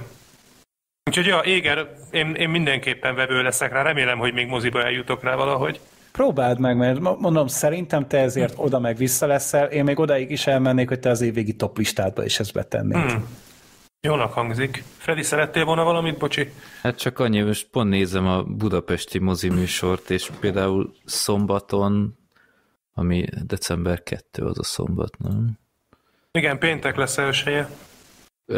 Konkrétan négy időpont van, csak Cinema City, és 10 órakor és 11, 10, 10 óra és 11.30 között vannak, ami nekem még speciál jó is lenne, ha épp nem lenne pont programom délelőtre, és másnap ugyanez, csak ö, este negyed negyed tízkor, nyolckor, tehát nem tudom, ez, ez nagyon nem szerencsés ez a műsorlista, de... Hát Szegeden is csak így, hát a belvárosiban egyszer nyomták, bár az este nyolckor, meg a Cinema City-ben meg ott meg 17.50-kor. Tehát, hogy így csak, csak ilyen esti időpontok voltak, egy-egy. Jó, hát Mindegy. De ez pont olyan film, ami majd HBO max fölkerül biztos. Hát azt írta a Levente, hogy lesz majd más hely, ahol el lehet érni, azt még ugye nem, nem pontosította, hogy hol, de azt hiszem a Max-re került fel mind a kettő talán eddig, tehát lehet, hogy, hogy ez is oda fog menni. Minden esetre én, én, én bíztatok rá mindenkit, hogy, hogy kis ingyentség, gyanánt érdemes rámenni, mert Nem, nem az a, a saját fingját szagolgató művész cucc azért egyáltalán. Uh-huh. Jó. Akkor egy filmünk van mára még, ez pedig az Attila által beküldött, a népakaratába beküldött, és aztán a patra, nem, nem is a patronosok, az összes hallgató által megszavazott Dr. Moró szigete. 1996-os. Igen. Igen. Igen, ez egy elég hírhet darab. Azt hiszem, hogy pont száz évvel a regény után, a Wells regény után jelent meg. Hát 19. századi annyit tudok, de hogy mikor írta a Wells, azt nem tudom pontosan. Uh-huh. De ugye a Wells írta a világok harcát is, hogyha jól emlékszem. Hát, a láthatatlan embert, tehát ő egy eléggé nagy, nagy író volt. És hát ebből már létezett egy másik film 1977-ből, de úgy gondolták, hogy akkor két évtizeddel később is újra nekiállnak, méghozzá egy elég színvonalasnak tűnő stábbal, és ezt, ezt én most láttam először, ti, már nem emlékszem, hogy ti láttátok már korábban. Én is most láttam először. Mi a, mi a Black Sheep-el szerintem 15 éve láttuk egyszer, és tudom, hogy nem tetszett már akkor se, ilyen nagyon-nagyon zavarba ejtő volt az egész. Uh-huh. De ez még abszolút a, a videózás előtt előtti idő, tehát még kanyarban nem volt, hogy majd valamikor rossz filmeket fogunk nézegetni hobbiból, de tudom, hogy már akkor is nagyon-nagyon-nagyon furcsa érzéseim voltak. Jó, um, igazából én a, a rendezői verziót néztem meg, azt tudom, hogy a Gergő is. Igen. Hogy ez mondjuk, ha minden igaz, csak egy pár perccel hosszabb, mint a, a régi, tehát itt ez inkább csak egy ilyen lehet, hogy marketingfogás. Annak nem jártam utána, hogy most konkrétan miben más. Meg, hogy melyik rendezőnek a változata. Igen, ez is egy, igen. Ez sem mindegy, igen. hogy ez most a Richard Stanley, vagy a John Frankenheimeré. igen, hogy a hivatalos, igen. vagy a szabotőr. Az, nem, az azért nem mindegy. ja. Ó, hát, hát a, a története az igazából egy, egy sima kalandfilmnek hangzik, hogy van egy hajótörött, aki a, a David Thulis, Thewlis, hogy Thulis. mondani? Thulis, Thulis. Thulis. Ő, tehát hát szerintem legkésőbb a Harry Potter filmekből mindenki ismeri. Vagy a Wonder Woman-ből. Jó, csak te. Igen, hát abszolút De... ő az, az ugrik be rögtön. Azt sem tudom, kit játszott abban. Hát ő volt a rossz fiú. Ő volt a rossz fiú? Aha. Jó, hát így sem vagyok beljebb. Nem is emlékszem már rossz fiúra abból a filmből. Hogy van egy hajótörött, őt aztán ö, megmentik, úgymond, és ö, eljut egy, egy szigetre, úgymond csak ideiglenesen, hogy ö, tudjanak onnan rádiózni, és hogy elhozza őt valaki ö, Dr. Moró szigetére, aztán kiderül, hogy hát ha már egyszer oda került erre a szigetre, egy könnyen nem szabadul onnan, mert ennek a szigetnek, vagy ennek a kolóniának azért vannak rejtegetni valói, nevezetesen ez a Dr. Moró, akit a Marlon Brando alakít, ő egy ilyen genetikus orvos. Hát valami Nobel-díjas nagy szaktekintély a, tényleg így a biológia terén. Igen, Ja igen, tényleg a Nobel-díjat meg is lehetett ott tekinteni. Szóval ő mindenféle kísérletekkel próbál egy újfajta genetikai élőlényt létrehozni mindenféle kereszteződésekkel, nem kereszteződés, kereszte... Keresztezés keresztezés, ez az a szó, nem kereszteződés. Na, mondjuk ki, idő kérdése az is lett volna. De, szóval a, a, a szigetnek van egy titka, amire aztán ez a hajó törött, hát lát is valamit, amit nem szabadott volna, és akkor ott kezdenek elfajulni a dolgok. Igazából szerintem el lehet mondani, Az hogy... elfajulás itt szó szerint mondható. Igen, tehát itt van egy, van egy szülési jelenet, ami hát elég disturbing volt, vagy zavarba És egészen undorító. Hát így az volt Igen. az első dolog kb. amit találkoztál így a lényeknek a Igen. szemszögéből. Pont annyira Igen. undorító volt az egész, hogy így nem, nem feltétlenül akartam én azt ott akkor látni. Igen, az egy elég így semmiből jött. És ez hogy fért bele a korhatárba, azt nem tudom, mert ez egy PG-13 film amúgy. Uh-huh. Hát lehet, hogy itt az állati testek miatt, vagy én nem tudom, de, de tényleg az, ott az ember így, így tága nyitotta a szemét, hogy na ez most mi volt. Az mondjuk egy erős rész volt, az, az nekem tetszett, megadta így az alaphangulatot, hogy á, akkor ez egy ilyenfajta film lesz. Um, és igazából hát ezt látjuk, hogy ez a ez a főhősünk, ez hogyan próbál egyrészt szövetkezni ott a szigeten belül, felmérni, hogy mi a fene zajlik ott egyáltalán. Van egy, a Marlon Brandónak van egy asszisztense, akit a hát elvileg a forgatás alatt kezelhetetlen Vol Kilmer alakít, ő volt a Montgomery, ő is hát nem teljesen olyan lojális, mint ahogy adja magát, ő is egy ilyen negatív karakterként lép fel, és hát ja, aztán, aztán egy ilyen egy ilyen lázadás is lesz aztán ott a, a lények között, úgyhogy itt történnek azért dolgok. Egy óra 40 perc volt a, a film, amit én néztem, és szerintem itt ti jóval szigorúbbak lesztek, mint én valószínűleg itt az előbeszélgetés során, én azt, én azt vártam, hogy azáltal, hogy ez a film ez ennyire hírhet, és azért lehetett tudni, hogy nem igazán volt zöggenőmentes a forgatás, hogy ez kihat majd a kész filmre is, majd biztos beszéltek majd, hogy még zajlottak konkrétan a forgatás során, de én azt kell mondjam, hogy ez nekem egy nagy meglepetés volt, hogy én személy szerint, hogy ha nem tudnám, hogy mik zajlottak ott, a film alapján én nem tudtam volna kikövetkeztetni.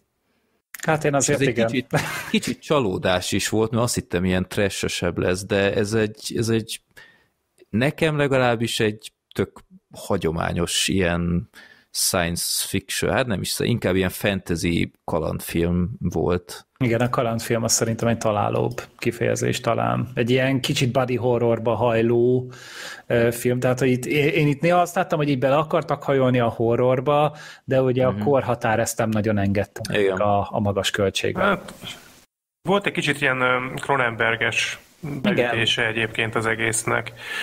Um, igazából Érdekes élmény volt most újra megnézni, mert tényleg a filmtörténelem egyik leghírhettebb alkotása.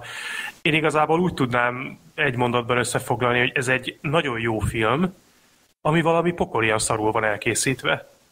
De valami, valami rettenetesen rosszul van megrendezve és eljátszva és összerakva. Ez a film olyan alapvető hibák voltak benne, hogy, hogy én nem értek ezzel egyet sajnos, hogy nem látszik ez a kaotikusság, ami a forgatást uralta, mert a második felében a jelenetek többségének konkrétan nem volt értelme.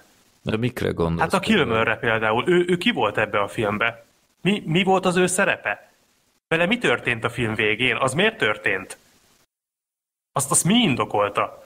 Hát, hát ő az asszisztense volt, aki át akarta venni az egész projektet. De miért? Ezt, ezt, miért volt ez neki fontos? Vagy? Egyrészt, másrészt meg ez, ez nem indokolja azt, ami vele történik a végére konkrétan egy másik karaktert kezd el játszani.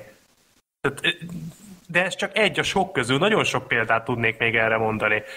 Hogy szerintem alapvetően már ott problémák voltak, hogy a, az első 20 perc az úgy az úgy nem mondom, hogy jó, mert például az elején az a mentőcsónakos rész, az, az nem is értettem, hogy ott mi a franc történik. De, de volt egy hangulata, volt egy kis misztikum az egészben, ahogy a Kilmer ott körbevezeti a főszereplőt a szigetem, bár mondjuk a csajnak a táncolását éppen mondjuk pont kihagyhatták volna, de... Jó volt ez? Mm, jó. A lány ügyes volt. Hát nem a tánccal volt ott gond, a jelenet volt nagyon fatökűen megcsinálva, de mindegy, nem ez volt a legnagyobb baj. Szóval utána ez úgy elkezd hangulatos lenni. De rögtön utána megtudjuk, hogy mi történik a szigeten. Rögtön utána kiderül és utána tulajdonképpen a film az így egy helyben toporog. Hogy igazából már mindent elmondott erről a sztoriról fél óra után, amit nekünk tudnunk kellett volna, vagy amit nekünk meg kellett, hogy ismerjünk. És, Jó, de hát utána van a hiéna lázadás, meg ezek, tehát ezt nem, de az, ezt nem mondanám, hogy egy helyben toporog. De az a hiéna lázadás is, az is nem hiszem el, hogy ennek nem volt előzménye, az egyik percről a másikra történik meg. Hogy az egyik egyszer csak kitalálja, hogy. De az se volt, az se volt normálisan elmagyarázva, hogy a, a Morró egyáltalán mit akar ezzel.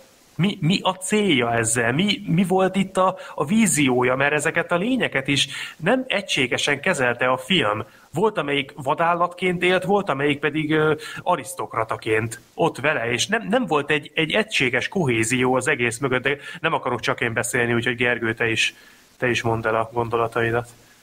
Hát engem igazából azt cseszett fel, hogy ez a film nem tudta eldönteni, hogy miről szól. Tehát, hogy tudod, lennie kellett volna az egésznek egy üzenetének, mert hogy, hogy ugye a film, most ugye a film nagyon sok területen tud működni. Most ugye lehet az az egyszerű bazári hullámvasút, hogy látványos, izgalmas, mit tudom én, jók az akciók ilyenek.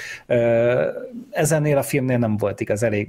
Annak ellenére, hogy Stan Winston volt amúgy a, a maszkos, azért a film nagyrészt elég szarul néz ki ezek az állatjelmezek szerintem eléggé, eléggé bénák. Aha, ja, szerintem úgy, az a szülős jelenet az erős volt, de a többi állat az, az szerintem nagyon-nagyon gagyi volt. Tehát ez hát a... figyelj, szerintem 96-hoz képest még a, én megkockáztatom, hogy még a CGI is szerintem korrekt volt. E- ezt, Tehát, ezt a részét én sem elkézném annyira. Nem volt kiemelkedő a maszk munka, de korrekt volt. Nem volt egy majmok bolygója. Hát nem volt én... egy Stan Winston, Stan Winston szint azért szerintem egyáltalán. Engem nem zavart a állatos maszk sem. Tehát nem... Egyedül a Brandonnak a sminkje volt ijesztő. Uh, nem, alatta Brandó volt ijesztő. Szerintem. De hogy a legnagyobb baj az volt, hogy, hogy ez a film, szerencsétlen film nem tudta, hogy miről mesél, mert hogy, hogy, hogy most azt akarja mondani nekünk, hogy az állatok jobbak az embereknél? Nem. Azt akartál mondani, hogy az emberek jobbak az állatoknál? Nem. Hogy ki van közelebb Istenhez? Ez is amúgy egy tök érdekes dolog lett volna, hogy most az emberi értelem ö, jut közelebb Istenhez, vagy pedig az, ahogy a jó Isten megteremtett minket, esetleg az hoz minket közelebb. És hogy, hogy így a, a film az láthatóan ezekbe belekap, de semmi mellé nem teszi le a voksát, és igazából semminek az eset tanulmányát nem ismerjük meg. Tehát, hogy, hogy az állatok is így hol azt mondják, hogy emberek vagyunk, utána azt mondják, hogy állatok vagyunk.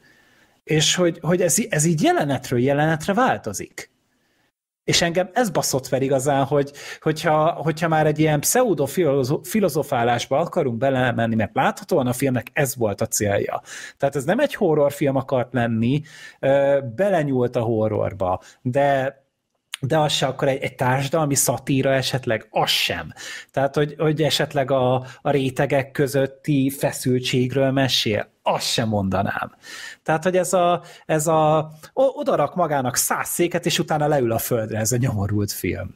Engem ez húzott fel igazán. Meg az a, úgy, ahogy teljesen összefüggéstelenek a jelenetek, abszolút nincsen semmiféle következetesség. Például a Kilmernek a karakter, az tényleg eltűnik így a filmnek a közepén, aztán egy ponton előkerül egy, egy alaplappal a fején, Igen. aztán utána meg már hirtelen hatalomra. Hát jó, de hát ugye, ugye ez azért volt, mert ugye a Kilmer úgy írta alá a szerződését, hogy előre lekötötte, hogy ő valami mást is forgatott emellett, és hogy a jeleneteinek nem tudom, a 40%-át ki kellett dobni, mert nem tudott részt venni a forgatáson. Tehát nem, nem, ott az volt a baj a Kilmerrel, hogy ő, ő azt mondta, hogy ő a létező legkevesebb forgatási napot hajlandó vállalni, és annál egy perccel se többet. Tehát én kikötötték, hogy mondjuk ő négy napot ér rá, vagy öt napot ér rá, és hogy abban kellett így mindent megcsinálni. Aztán nyilván nem tudták megcsinálni, egy csomó szerződéssel, meg a, a vállása vagy házassága erre ráment. Ja, az volt, igen, tényleg. tényleg és, és, hogy, és hogy ő, ő a, mini, a minimumot vállalta, és emiatt össze kellett baszni, és így emiatt döntöttek úgy, hogy akkor egy mellékszereplővé is irányítják le, mert hogy amúgy ez nem a Val Kilmer lett volna eredetileg, ez a Bruce Willis lett volna eredetileg. Csak ő is vált. Csak ő a forgatás előtt tudta meg, hogy ő neki hát tönkre megy épp a házassága a Demi Moore-ral, úgyhogy ő akkor pattan gyorsan. Ennek a helyre érkezett a Wall Kilmer. A más, első vagy második forgatási napon a tévéből tudta meg, hogy a felesége bejelentette, hogy ő válni akar. Tehát, hogy nem is így személyesen, hanem hogy a tévében mondta ki a csaj, hogy válni akar, és akkor Kilmer mondta, hogy jó, akkor én is megyek haza ezt elintézni, és nem engedték el a producerek, tehát hogy a szerződése kötötte, hogy ő innen nem mehet el addig, úgyhogy a Kilmer ott maradt, és akkor tudod, vannak emberek, akik azt mondják, hogy jó, akkor ilyen szakmaiságból én ezt végigtolom, nem, a Val Kilmer elkezdte pokollá tenni mindenkinek az életét, abuzálta, amennyire csak tudta a stábtagok, stábtagokat a rendezővel folyamatosan veszekedett, késett a forgatásokról, nem volt hajlandó megtanulni a szerepét, akkor már a Marlon Brando sem volt a helyszínen, mert őnek is, hát a forgatásnak nagyon korai szakaszában de, ö, pattant ki, hogy a lánya meghalt, azt hiszem, hogy gyilkos lett, úgyhogy őt, őt elengedték amúgy a forgatásról, és nem tudták, hogy mikor jön vissza a Brandó, hogyha egyáltalán vissza fog jönni, és amikor meg visszajött, akkor ugye hát ő, ő lelkileg egy roncs volt teljesen, és, és mindenre szart, és akkor azon a ponton kezdett el összeveszni a Kilmerrel, de mint az állat. De olyan szinten elkezdték szabotálni a filmet, hogy konkrétan az egyik nem volt hajlandó a másik előtt kijönni a sminkes lakókocsiból. Tehát, hogy ez, és a szerencsétlen stábtagok meg ott várták, hogy történjen valami, és és akkor ez volt az a pont, ahol az eredeti rendezőt, a Richard Stanley-t elküldték, őtőle származott az egész ötlet, ő találta ki, hogy modern környezetben csináljuk meg a filmet, ő kalapozta össze a büdzsét, ő szerezte meg Marlon Brandót is a meg filmhez. Neki, neki egy nagyon nagy szívügye is volt ez a film. Amúgy. Ő ezt nagyon-nagyon akarta. Igen. És, és utána korán megnyerte hozzá a Marlon Brandót, és akkor ezzel együtt jött a Bruce Willis, meg a James Woods, ugye a Bruce Willis kiesett, a James Woodsnak meg a karakterét teljesen kihagyták a, a filmből, és akkor ennek a helyére érkezett ugye a, a Wall Kilmer, meg volt egy főszereplő faszi, akinek most nem tudom a nevét, de ő, ő sírva könyörgött, hogy engedjék el a forgatásra, amikor már ilyen keményen háborúzott ugye a Kilmer meg a Brando, úgyhogy őt elengedték, és akkor az ő helyére jött a David Tullis.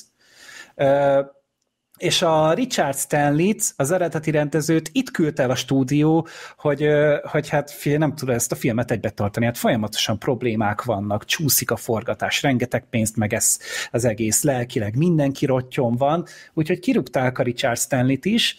A Richard Stanley idegösszeroppanást kapott, és tombolásba kezdett, el összetépett, tönkretett minden jegyzetet, amivel így a, ő a filmet fölvázolta, tudod, a storyboardokat, meg a stb. És ő, ő elhagyta a forgatást, elvonult a, az Ausztrál dzsungelbe, és ő ott így eltűnt, aztán egy nem sokkal később jelmezben visszaférközött a forgatásra, hogy kémkedjen a produkció után, és még a, a wrap partira is bejutott valahogy a záróbulira, hogy beolvasson a Wall Kilmernek, hogy a kurva anyját. Igen, és állítólag próbálta szabotálni a felvételeket, meg ilyet, de az a durva, hogy ez a sztori, ezzel a szerencsétlen rendezővel. Ez sokkal érdekesebb, mint a film tényleges történet. Igen, Igen és, ez jogos. És a csávó ez, ez visszament, és ő ezt így letolta, ö, aztán utána a női főszereplő is le akart lépni a filmbe. Tehát itt ott tartunk, hogy ez már a hatodik színész, Igen. aki megpróbálja hagyni. már senki nincs ott. De őt meg a, őt a reptérről fordították vissza, tehát ott is elkapták a stúdió emberek, és végül visszavezették, hogy nem nincs ilyen, hogy te innen meglépsz. Úgyhogy ez, ez komolyan mondom, egy hitelszerződésből amúgy könnyebb kijutni, mint ebből a filmből. És akkor, ja igen, hát ugye jött ugye az új rendező, a John Frankenheimer. John Frankenheimer totál leszarta ezt a filmet, ő viszont ki tudta azt csikarni, hogy koldátlan kreatív kontrollt kapjon, senki nem szólhat bele a munkájába, és egy három filmes szerződést is felajánlott neki a New Line. Tehát tulajdonképpen ő utána három filmet megcsinálhatott, azzal, hogy ő ezt a, ezt a shit show-t végigvezette, de ugye itt is ő folyamatosan veszekedett a Wall Kilmerrel, főleg a Wall Kilmerrel, és a,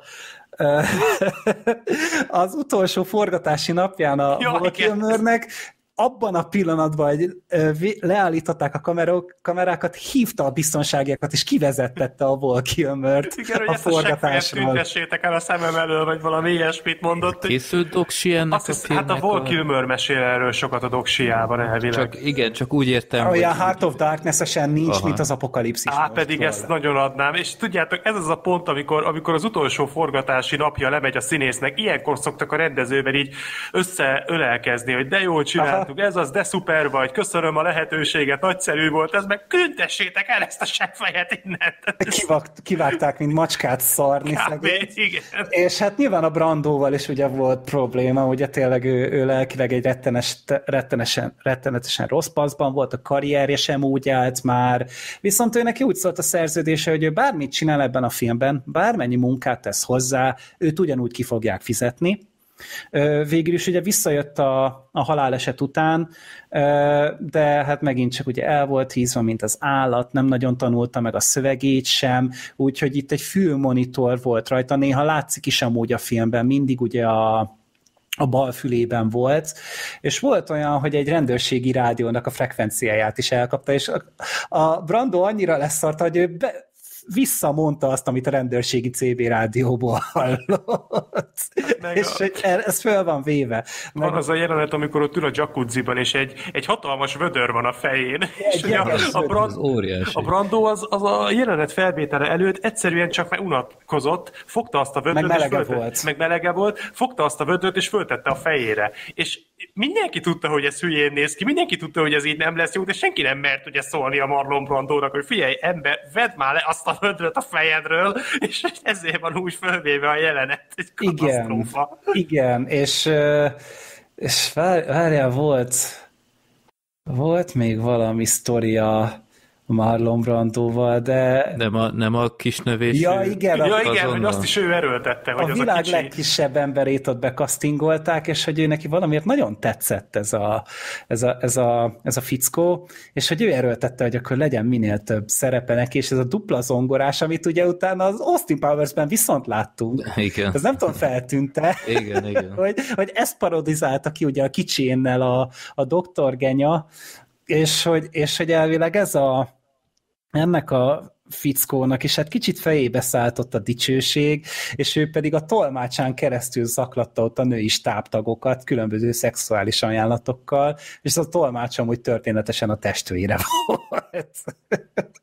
és hogy így, és képzeljétek el ezt a filmet, szegény David Touris a mai napig nem látta a filmet, ő annyira gyűlölte ezt az élményt. Hát volt egy, fél éven keresztül szívtak ezzel az egésszel, mire ez elkészült. Volt egy ilyen sztori is, hogy a Julis megérkezett, és ott valamit meg akart beszélni a Brandóval, valamit a szereppel kapcsolatosan kérdezett, vagy nem tudom, és a Brandó az annyit válaszolt neki, hogy David, figyelj, hagyd a picsába, ez egy szar lesz. Ne, ne, ne hagyjad, engedd el. Tehát, hogy a, és a Brandón is látszik, nyilvánvalóan ez nagyon-nagyon szomorú, ami történt ugye vele, és ebből a szempontból egyébként érthető, hogy, hogy nagyon hidegen hagyta tulajdonképpen, hogy ő itt hogy alakít, és, és hogy mit rak össze ebből a szerepből, de, de ugyanakkor az is látszik rajta, hogy nem is az, hogy gyűlöli az egészet, hanem hogy baromira nem érdekli. Hát csalódott is benne, mert hogy ő volt ugye az első, akit megszereztek a filmhez,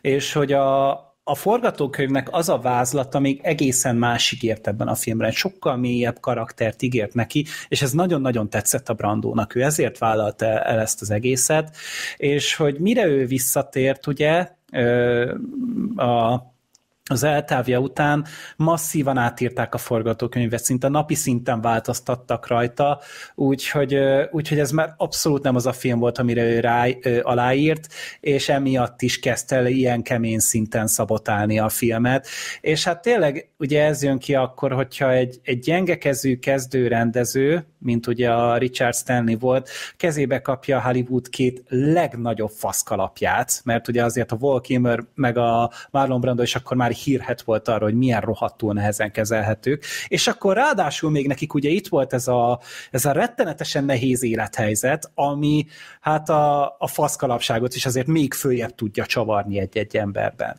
És, és ott van ez a rengeteg ember, ez a rengeteg pénzzel amúgy rettenetesen szar körülmények között, mert az Ausztrál dzsungelben forgattak, ahol még amúgy talán valami fasz a monszum is elkapta őket, és tönkretette a díszleteknek a nagy részét.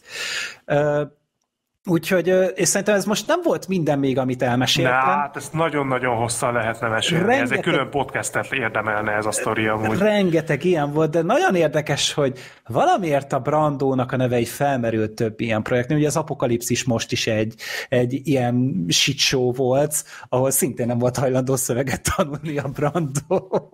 De hogy, hogy tényleg ez egy ez egy hihetetlen történet, nem akartam volna rajta dolgozni, egy percet nem akartam volna itt tölteni, mert szerintem ez, a, ez az egyik legtoxikusabb környezetet, le, környezet lehetett, amit el tudsz egyáltalán képzelni, de ezt így meghallgatni, elolvasni, egyáltalán értelmezni, hát ja, Hollywood nem mindig az álmoknak a gyára. Igen. És mondom, a végeredményen szerintem ez nagyon-nagyon látható. Az, hogy, hogy Szerintem itt a végére már mindenki elengedte ezt az egészet. Tehát uh-huh. szerintem mindenki úgy kelt föl, hogy még x napot kell kibírnom, megkapom a csekkemet, és húzok innen a francba. És soha többet nem is gondolok erre a rémálomra, amit zajlik. Tüliszon ez nagyon érződik például. Szerintem a, a, tehát az ő szerepe is egyébként a végére nagyon furcsa fordulatokat vesz. Tehát én például nem egészen értem, hogy az a jelenet az mi volt, amikor a...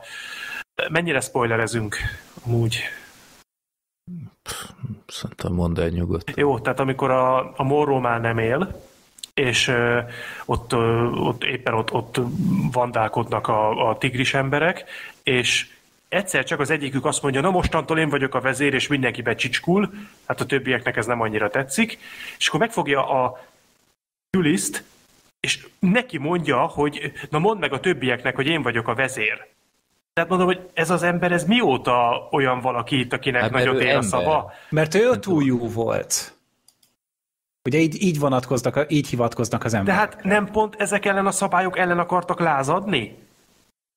Hmm. Hogy nem kellenek az ötójúaknak a int, ö, Hát csak a többi, a többi, akiket meg akartak szerezni, ők a, az emberekre hallgattak. Tehát ugye volt az a szakállas lény, vagy... A hén a disznó. Törvénymondó, vagy mi volt a neve? Igen, ja, Sayer of the Law, Ron Perlman. Az a Ron Perlman volt. Az a Ron Perlman volt, igen. Ne szívas. De az, igen. Elképesztő. A Mark Dacascos is amúgy itt volt. Tényleg benne van a Mark Dacascos? Igen, nézd meg IMDb-n a, a stábot. Amúgy így voltak a maszk alatt, meg a smink alatt amúgy ismerős arcok. A többek között a volt rendező is ott volt, ugye, mint megtudtuk. Igen.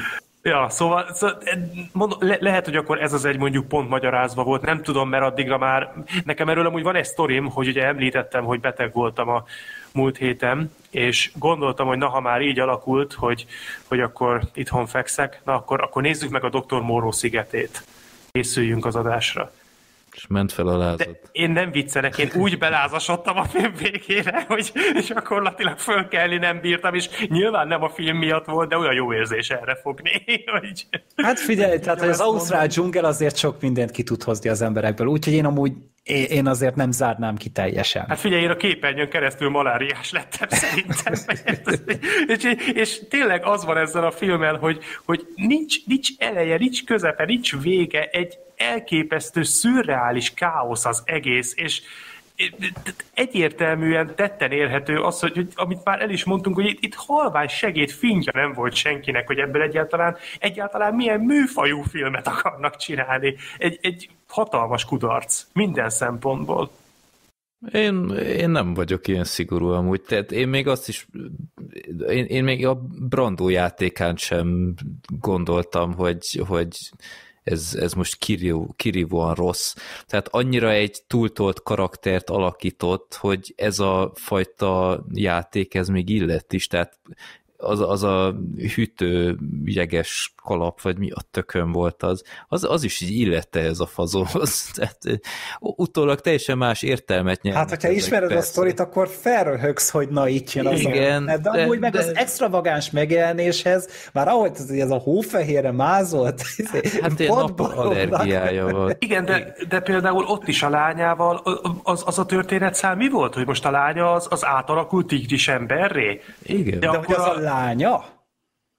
Hát ő nem szerintem egy kísérleti a, alap? Hát szerintem annyira a gyereke, mint mindenki más. Ja, Ott én is mindenkit a gyerekének hívott, de hogy, de hogy akkor a többi ö, tigris ember állat, azokat is így műtette át? Vagy... Hát én, én abból indulok ki, hogy, hogy aki közel, hát akit a családjának nevezett, én úgy feltételezem, hogy azok emberek voltak csak idővel így alakultak át, és ez a nő is úgy alakult volna. Nem, amúgy fordítva hát... van, állatokból lett az összes, tehát hogy itt embereket nem nagyon használtak amúgy. Igen, hát ez... Emberi géneket adtak be állatoknak.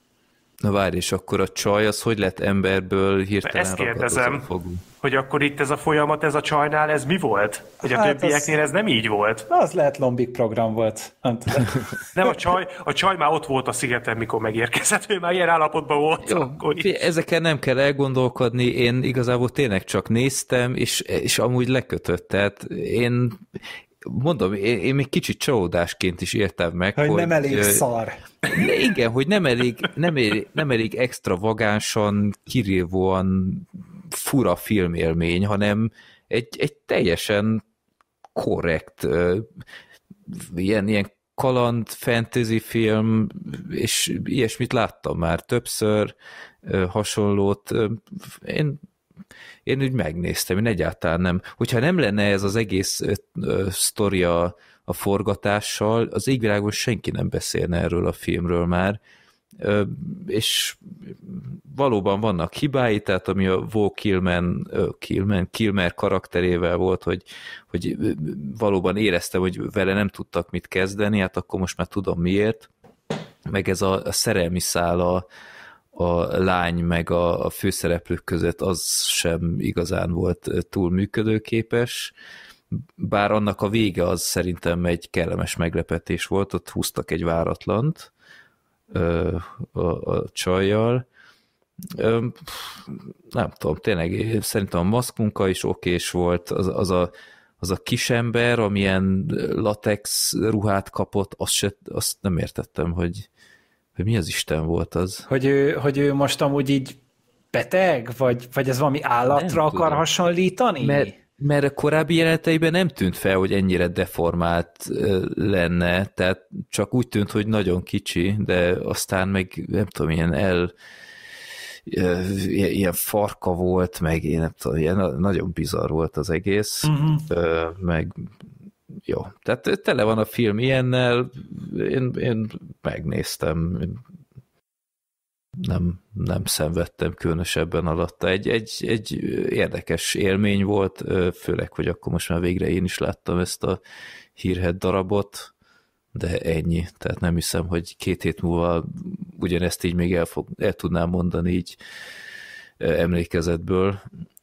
Hát minden esetre egy dokumentumfilm nagyon kéne erről. Hát, vagy, vagy egy, tudod, egy, egy sorozatot készíteni arról, hogy hogy, hogy egy, egy, egy, egy, já, egy skriptelt sorozatot készíteni arra, hogy hogyan készült ez az egész, mint amit ugye most kapott a keresztapa a The Offer címmel, az mm. egy mhm. nagyon jó sorozat, amúgy azt ajánlom mindenkinek. Van egy ilyen sorozat? Aha, ja, egy ilyen nyolc epizódban mesélik el a keresztapának, annak is elég zűrös volt a készülte, Marlon Brando szintén, Igen. És, és nagyon jó az a sorozat, nagyon érdekes. Na, erre majd ránézek. A Sky Showtime-on. Az ott van, én ott néztem, csak ne magyar felirattal néz, mert az valami elbaszottul szar. Tehát, hogy felfoghatatlanul igénytelen is munkát Hát akkor majd angolul. Uh, ja, sokkal jobban jártok, de azt, azt jó szível ajánlom, és ebből egy, tényleg egy ilyen, egy ilyen brandó antológiát lehetne csinálni. Egyet az apokalipszis mostról, mert az is hihetetlen, arról is így uh, elég sok mindent összeszedtem, amikor a VLF-ben beszéltünk a, az apokalipszis mostról, az, az, az, amikor igazi hullákat tettek ki a, a díszletbe, meg ilyenek, tehát az, az is egy nagyon kemény történet, és ez lehetne így a harmadik évad a Dr. Morrow szigete.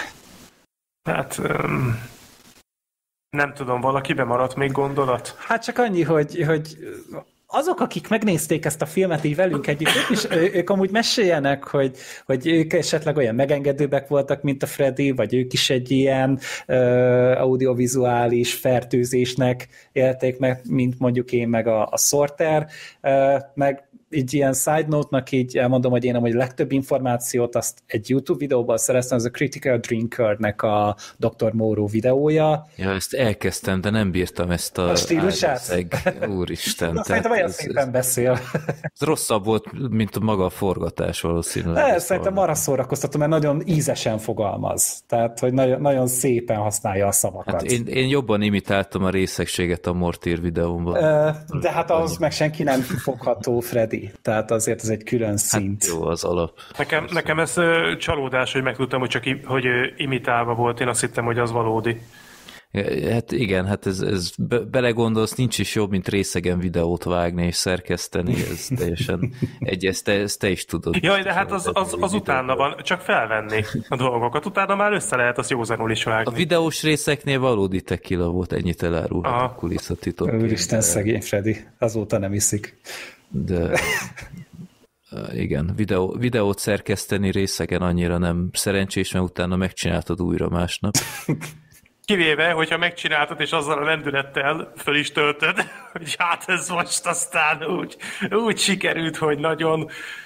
Nem mintha lennének egyébként tapasztalataim ezen a téren, nekem csak úgy mesélték. Jó. Na, úgyhogy tényleg, aki megnézte, esetleg egy jó apropó volt, hogy megnézze ezt a hírhet filmet, az, az is nyugodtan jelezzen vissza, hogy ti hogy éltétek át, mert mert ezek szerint többféleképp lehet értelmezni a látottakat. De akkor kifogytunk már a filmekből, legalábbis a kibeszélt filmekből, viszont még nincs vége az adásnak, kezdődik akkor a karácsonyi filmosztásunk. Igen, színes filmválaszték lesz itt is, egészen régi darabokkal helyenként. Úgyhogy itt már akkor hallhatjátok a Black Sheep-et is, és igazából utána már vége is az adásnak. Most mit megnézem, hogy hány, hány perces vagy hány perces a végeredmény, mert annyit elárultunk, hogy nem, nem egy hete vettük fel, úgyhogy ez meg kicsit arrébb van. 35 perc alatt megoldottuk, úgyhogy ez vár akkor még rátok ebben az adásban, és akkor a 368. adásban ezeket kitárgyaljuk, és talán még egy-két más filmet, ott találunk valami nézni valót a moziban, vagy, vagy nem tudom én ezt a Stallone doksit én, én még tervezem megnézni. Ezt jó cucc, azt ajánlom. Jó ja, ja, ja, egyébként jó, az úgy szimpatikusnak tűnik, így az Arnold után tök jó lesz. Arnoldosatról szerintem tök jó kibeszéltük, úgyhogy szerintem akkor azért biztos találunk még beszélni valót, de így is lesz akkor már 12 film legközelebbre. Annyival azért már lehet dolgozni.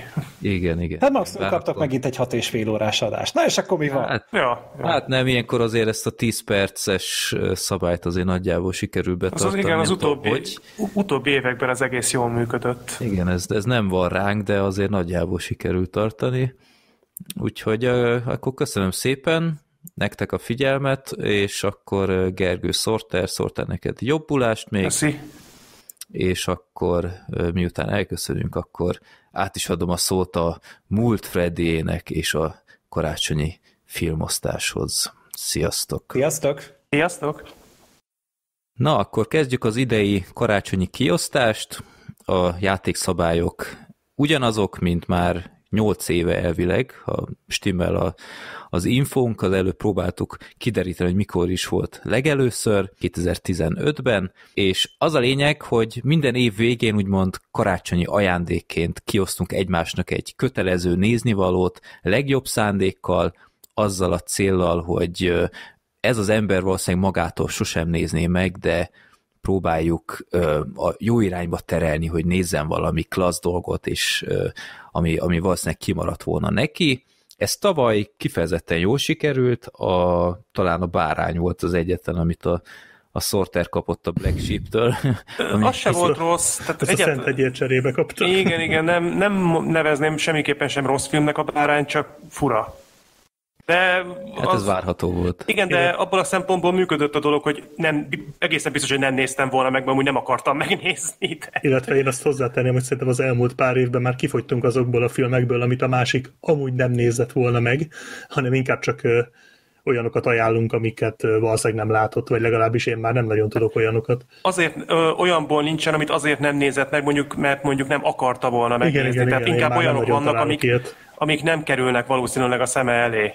Mert a, mert a Gergő már nem akar több De Niro, Pacino és Russell filmet nézni. meg Bud Spencer sem. Azt sose kapták karácsonykor. Szerintem na, sem. Na majd most. Na várjatok, akkor gyorsan át kell írnom itt a listát. Várjál, nem nézettél velem, csak nem karácsony volt, hanem azt hiszem a Watchmenért A Watchmenért cserébe, igen. Így van. Sőt, te kettőt is megnéztél. És mivel Gergőnek nem tetszett, az a, második... a Watchmen. a második volt a és megint übe jövünk. Meg a Nincs kettő négy nélkül volt még. Az volt? Igen, a Nincs kettő négy nélkül volt, meg az... Igen, az és megint jövünk volt, mert emlékszem, hogy beszéltetek a pisztáciás jelenetről, és az abban van. De szerintem ma nem a Nincs kettő négy nélkült néztük először, vagy nézte A pisztácia az nem a Nincs kettő négy nélkülben van. De az és megint jövünk volt a másik. Biztos? Ja. Igen. Szóval én úgy emlékszem, hogy Nincs kettő négy nélkül, és, és megint jövünk ez a kettő volt. Illetve ugye volt az adásban a különben jövünk is ugye a remake Igen, kapcsán. hát ott, ott nem vett részt. Most se tudom amúgy, hogy miről beszélt. De lehet, hogy nem, az is lehet, hogy nem, ez azért már régen volt. Na majd mindjárt megtudod. Na, akkor ki szeretne kezdeni? Én. Akkor Gergő Jó. kezd, én közben jegyzetelek. Jó. Ö, akkor én szerintem úgy fogok haladni, ahogy most itt a TeamSpeak-en jelen vagyunk, és a legfelő, legfelső az a, az a Black Sheep. Ö, te Black Sheep neked, hát egy szerintem karakterbe illő filmet fogok adni, egy távol-keleti alkotást.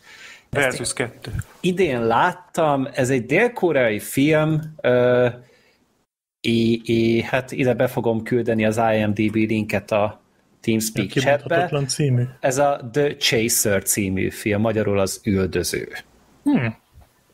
Ismerős, Hú, nem ismerős. Nem, nem ismerős, de nagyon fura posztere van. Nagyon-nagyon-nagyon jó ennek a filmnek a sztoria, és pont attól olyan azért szerettem annyira, mert olyan tipikus koreai, hogy nem igazán vannak határvonalak a karakterek között, és egy nagyon, nagyon kis hatásos történet, uh-huh. és feszült történet. A koreai filmeket szeretem, úgyhogy jöhet. Jó, kösz, megnézzük igen, igyekeztem így a, a kedvedben járni. Ah. 7,8 IMDb. Igen. igen. Igen, ez hát, te, még Metascore is van, ami mondjuk koreai filmnél ritka. Ez, igen, ez a film létezik, képzeld el. Kemény. Úgyhogy szerintem ez neked nagyon tetszeni fog, én is csak véletlen találtam rá valamilyen koreai filmes listán, úgyhogy... 2008-as uh-huh. Mhm. ráadásul. Jó. Hát ez már így a fénykora volt, ez uh-huh, már igen, az igen. időszak volt, a post-old boy uh-huh. periódus, ja, ja. már közemberek elkezdték komolyan venni a ezt a régiót. A következő az, az a drága jó Freddy lesz. Hú, ez nem tetszik nekem. Igen, ez határozottan nyugtalanító, ez a jelző. Igen, hát itt nagy gondban voltam. Neked van amúgy a legtöbb film összeírva, mert így tényleg óriási nagy dilemában voltam, hogy, hogy mi legyen, hogy legyen, hogy valami, valami klasszikust adjak, amit már régóta tologasz, de még nem néztél meg, vagy pedig, vagy pedig arra a kis, kis ördökre hagyatkozzak, aki így, így, így duruzsol a fülembe, hogy nem fogja Freddy megúszni ezzel a szánalmas tíz éves embargójával a szuperhős Jaj, filmeket. Ne, ne. Tehát, hogy ezt én így, én, én, én ezt nem bírom el egyszerűen ezt a gondolatot, és muszáj vagyok ezen valamilyen szinten segíteni. De akkor már nyilván a jó indulat fog belőlem szólni. Nem... Úgyhogy Morbius. hát, Gék tehát ezért ilyen, ilyen szörnyűséges gané dolgot nem csinálnék, akkor már próbálnék egy olyat keresni, ami esetleg tetszeni, nem akarom, hogy a falra hányját tőle. Tehát, hogy emiatt így kihúztam a, a, az Aquament például, hogy akkor az ne legyen. Úgyhogy végül is azt a filmet választottam, ami kritikailag talán az egyik legnagyobb siker volt az utóbbi években, és anyagilag pedig az egyik legnagyobb bukás. Erről beszélgettünk itt a podcastben is két éve, ez a The Suicide Squad című film lesz, ez a James Gunn-nak Ja, a... ez a második. Igen, ez a második, ez a jó. De azt nem fogja, vagy nem akarta Freddy amúgy is megnézni a Nem. Bumerán kapitány miatt? Az az elsőt akarta meg. Hát de abban is benne van Bumerán kapitány, a másodikba. Hát nyilván így majd kap egy kicsi biztatást, az elsőt is nézze meg, amúgy nem muszáj, tehát ez amúgy tökre érthető magában, nem igényel semmiféle előtudást egyáltalán a dolog. Itt is megvan amúgy az esély rá, hogy sikítva fogsz a működő láncfűrészbe belerohanni, de én úgy gondolom, hogy nagyobb az eshetősége vagy valószínűsége annak, hogy te ezen amúgy jól fogsz szórakozni. Azt hittem, ezt a, azt hittem, ezt a térkatonáját adod nekem. Nem, Én is nem, arra tippeltem volna. Nem, MCU filmet nem adnék neked, mert hogy egyszerűen azok tényleg annyira építenek egymásra, ö, annyi esemény van, amihez így nem árt tudni az előzményeket, hogy ö, De végtelen karácsony áll rendelkezésünkre. hát csak egy 30 karácsonyra egy betáblázom a teljes MCU-t, hogy szeg- szegény Freddy az idő előtt meghalljon biztos a nagy vérzésben. A, a izé, Captain Marvel-t kihagyhatja. Igen, tehát hogy, hogy tényleg gondolkodtam, de az, de hogy az MCU-t azt én azzal nem fogom a Fredit meg, megbüntetni, mert szerintem az tényleg nem az ő műfaja, meg tényleg a történetnek is nehéz felvenni a, a ritmusát, úgyhogy, úgyhogy jó lesz ez a The Suicide Squad, ami tényleg egy kis ö, önálló történet, meg tényleg szerintem marha szórakoztató. Jó. A Pokverzumot kaptam volna, azt már elárultad itt hónapokkal ezelőtt. Az lett volna az eredeti igen, és utána azt kellett átírnom valami másra. Még most is azt mondom, hogy a Pókverzum amúgy összességében szerintem jobban lehet talán a te udvarodon, de ez is talán még bejöhet. Úgyhogy én Ja.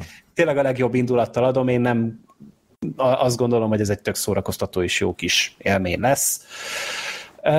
És akkor Sorter, hát Sorternél ö, nagyon gondolkodtam, hogy már két éve kb. ki van neki nézve egy film, ami egy nagyon-nagyon-nagyon jó film, és szerintem neki nagyon-nagyon nagy hatást tenne így a mindennapjaira, de hogy talán az egyik legfelkavaróbb és legdepressziósabb film, amit valaha láttam. És végül is úgy döntöttem, hogy én azt elengedem, Ez és, is a Morbius volt, igaz? és nem. Elárulod, mi volt az? A Mass című film. Tehát ez egy, ez egy amerikai kamaradráma egy helyszínen vannak, iszonyatosan kemény, de iszonyatosan jó film amúgy, de én ezt így az utolsó pillanatban meggondoltam magam, hogy nem ezt fogom neked adni, hanem helyette te is egy korai filmet fogsz nézni, az élősködőkkel Oscar díjat nyert Bong Joon-ho-nak a korai filmjét, a Memories of Murder című filmet. Uh-huh, ezt tudom melyik. Ezt halál már- jele. Igen, ezt nagyon-nagyon régóta ö, szeretném megnézni, úgyhogy ez nagyon jó. De ez akkor nem nagyon jó. még. Nem, nem, nem, nem. Csak nagyon régóta ott van előttem, hogy majd holnap megnézem. Jó. Ez megy két éve. Mi a magyar címe? a halál jele. Hú, ennek örülök, ez nagyon Ezt jó. láttam. Oké, Ezt köszi láttam, Gergő. de, de köz, közvetlen a élősködők után rám nem tett akkor a hatást, de lehet, hogy újra nézem most így akkor én is. Aha, hát én is idén néztem meg először, valamikor talán nyáron, vagy évelején valamikor, tehát hogy tényleg nem egy olyan régi élmény, és rá meg óriási nagy hatással volt az, hogy, uh-huh. hogy milyen, ez a, ez a ne, azt sem mondom el, hogy milyen filmre hasonlít, csak ülj le és nézd és Jó. Ez, ez, egy, ez egy nagyon-nagyon érdekes film. Oké, okay, köszi. Ö, Folytatom én akkor, jó? Jó. Jó, ö, én nem a TeamSpeak szerint fogok menni, hanem ahogy fölírtam a füzetembe. Freddy, akkor ezek szerint te vagy az első. Ezt már párszor beszélgettünk, hát másokkal is, meg egymás között is, hogy mi ketten nagyon szeretjük ezeket a szűk térben játszódó, kevés szereplőt mozgató filmeket, úgyhogy most is egy ilyet fogsz kapni. Ennek a filmnek az a címe, hogy Rendezvous. Ez egy 2019-es mexikói, fekete-fehér, vágatlan kétszereplős film.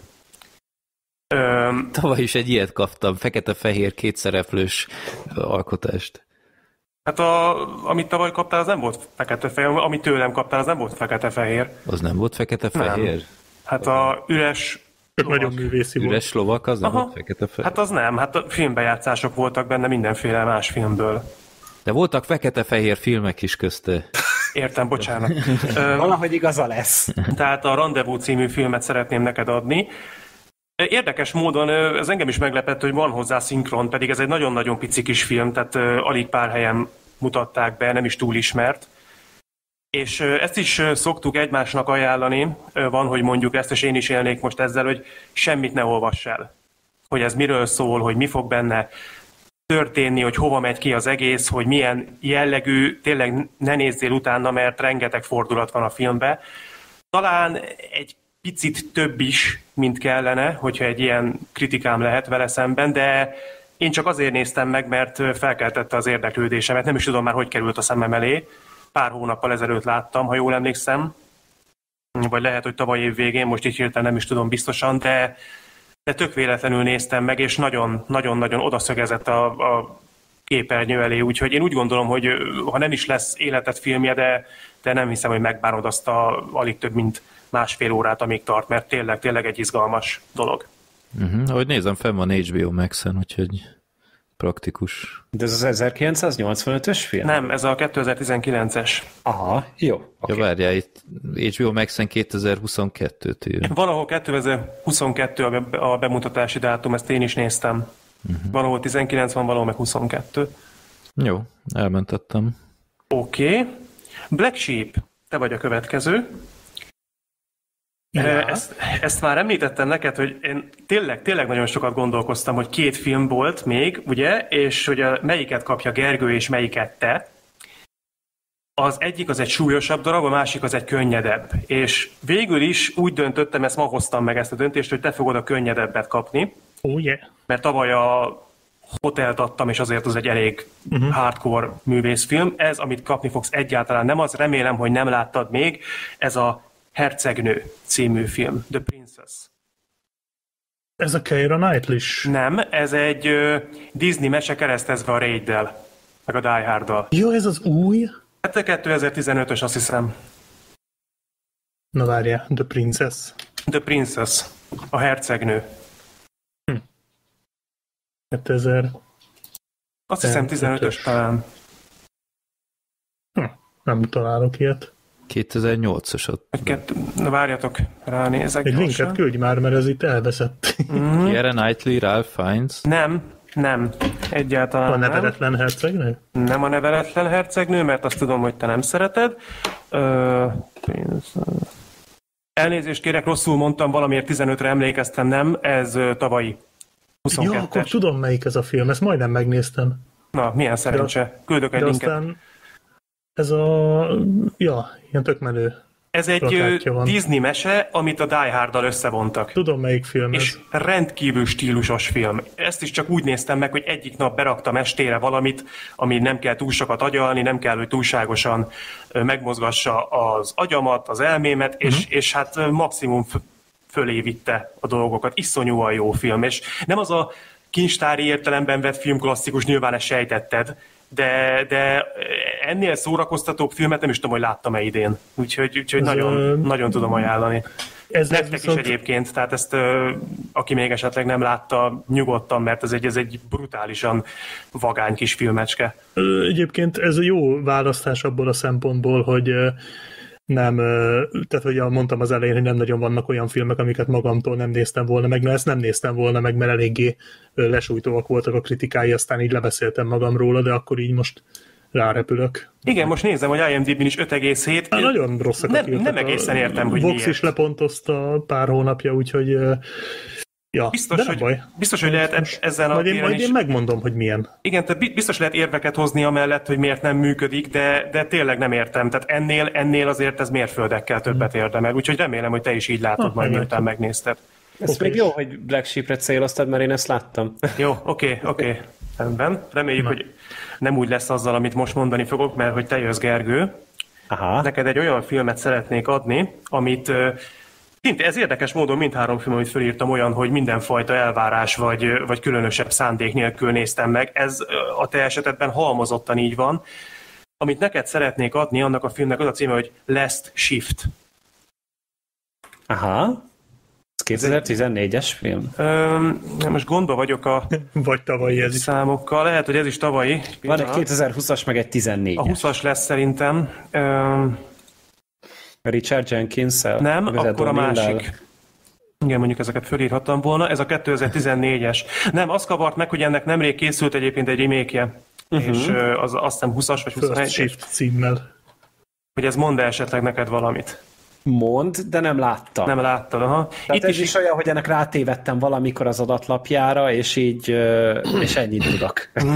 Igen, itt is igaz az, amit a Princessnél is mondtam az előbb, hogy eléggé, hát legjobb szívvel is közepesnek minősítették, és nem teljesen világos nekem, hogy miért, mert vannak benne furcsa rendezői megoldások, ez tény és való, de összegészében ez egy rendkívül nyomasztó és ijesztő film. Én legalábbis nagyon-nagyon beparáztam rajta.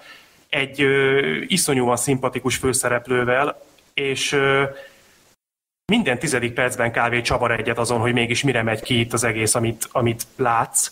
Legalábbis én így éltem meg. Úgyhogy amikor befejeztem, akkor már azt gondoltam, hogy szerintem jó esélye lesz én a Gergőnek oda passzintom, mert ö, úgy vettem észre, hogy te azért nem szoktál óckodni az olyan horroroktól, amik ö, kicsit rámennek erre a misztikusabb túlvilági vonalra, és ö, szerintem ez a történet, ez a film, ez, ez ö, ha nem is kimagaslóan, de mindenképpen az átlagon felül teljesít, és számomra egy hihetetlenül kellemes meglepetés volt, és, ö, és hát remélem, hogy te is pozitívan zárod majd le. Úgyhogy ö, lesz shift, ezt fogod nézni idén karácsonykor. Jó, jó. Én nem bánom, én szeretek így kicsit így az ilyen kicsit ilyen obskúrusabb horrorok között ö, turkálni és matatni, úgyhogy én ezt megnézem szívesen. Na, örülök. Na, akkor folytatom én, leszek olyan pofátlan. Oksa. Akkor én ö, azt a azt a sorrendet fogom itt követni, hogy megjelenés éve, és akkor kezdem a legfrissebbel, amit a Sorter kap. Sorter, tudod mi, közöttünk régen volt egy ilyen, hogy egymásnak ajángattunk ilyen kétszereplős Nem, én soha nem hallottam erről. Szerintem soha nem beszéltünk ilyen high ilyenről. concept filmekről, ez nem tudom, esetleg újdonság lehet a hallgatóknak, és akkor most én is megint adnék neked egy ilyet, méghozzá a 2020-as Breaking Surface című film. Mhm. Hallottál-e már róla? Hát így címről nem mond semmit. Mindjárt rákeresek, vagy ha küldesz egy linket, akkor Ö, hú, most az nincs előttem. nem baj, akkor beírom. Breaking. Breaking Surface. Ah, igen, igen, igen, megvan. Uh-huh. Na nézzük, mit lehet el. Oh! Breaking Sir. Nem, nem, én ezt nem láttam. Uh-huh. Nekem ez semmit nem mond. Jó, itt is én is azt tanácsolom, hogy hát nyilván láthatod a plakátról, hogy valami búvár probléma akad, de mm, tartogat a film meglepetéseket, úgyhogy én kíváncsi vagyok majd, hogy neked... 82 perc, hú, már is ez a kedvenc. Igen. Jó, Jó. köszönöm. Akkor Breaking Surface a Sorternek, akkor a következő, ugrunk egy nagyot, 1960-ba, ezt a Black Sheep kapja. Ez a második legrégebbi film. még így van. Freddy a gyerekkorából ad filmeket. Gergő, Gergő Chaplin filmet kap az az érzés. Nem, a Black Sheep Pszichó. kap 1960-ból egy francia filmet, az Odu. Láttad-e már? Le Odu? Nem. Nem, Az Odu. nem rémlik. Az Odu. Ja, itt van 60-as. Le True? Hm, nem, nem, ez... Nem, ez, ez nem ismerős egyáltalán. Uh-huh. Na, ennek nagyon örülök, mert itt necces volt, tehát itt paráztam a leginkább, hogy esetleg látta-e valaki. Nem, nem is mond semmit. Nekem sem. Na, akkor ö, tegyünk ez ellen, mert szerintem a film az nagyon megérdemli, és igen nagy kritikai, tehát kritikailag igen csak ünnepelt darabról uh-huh. van szó, tehát IMDb 8,5-ön áll, én is másoktól hallottam egy kibeszélőben erről, és egyből felkaptam a fejemet, hogy hú, ez érdekes. Egy börtönfilm, uh-huh. ahol ki kell szabadulni a, a börtönből. Így ennyit elmondok, uh-huh. két óra 11 perc, de egyébként szerintem kifejezetten jó alkotás. Jó. Úgyhogy jó. kíváncsi vagyok, hogy hogy tetszik Én neked. is, én is, ez érdekesnek tűnik, meglátjuk. Én nem is kevés szavazatból van ilyen magas pontszáma egyébként, viszont a top 250-ben meg még, még nem elég, nem volt elég. Na majd Mhm. ezen javítunk. Jó, akkor az Odu, és akkor menjünk még tovább egy pár évtizedet. Utazás a holdba. Ah, de az a jó jár a Gergő, mert csak 10 1905-ből. perc. Nem. Ö, menjünk 1942-be, és itt biztos vagyok, hogy a Gergő ezt nem látta, mert ha igen, akkor itt mentem összefosom magam. Ez a lenni vagy nem lenni? Láttad-e Gergő? Ezt a filmet. 1942. Eh, Nem. Úgy látom, hogy nem, nincs rajta IMDb pontozásom, úgyhogy szerintem nem.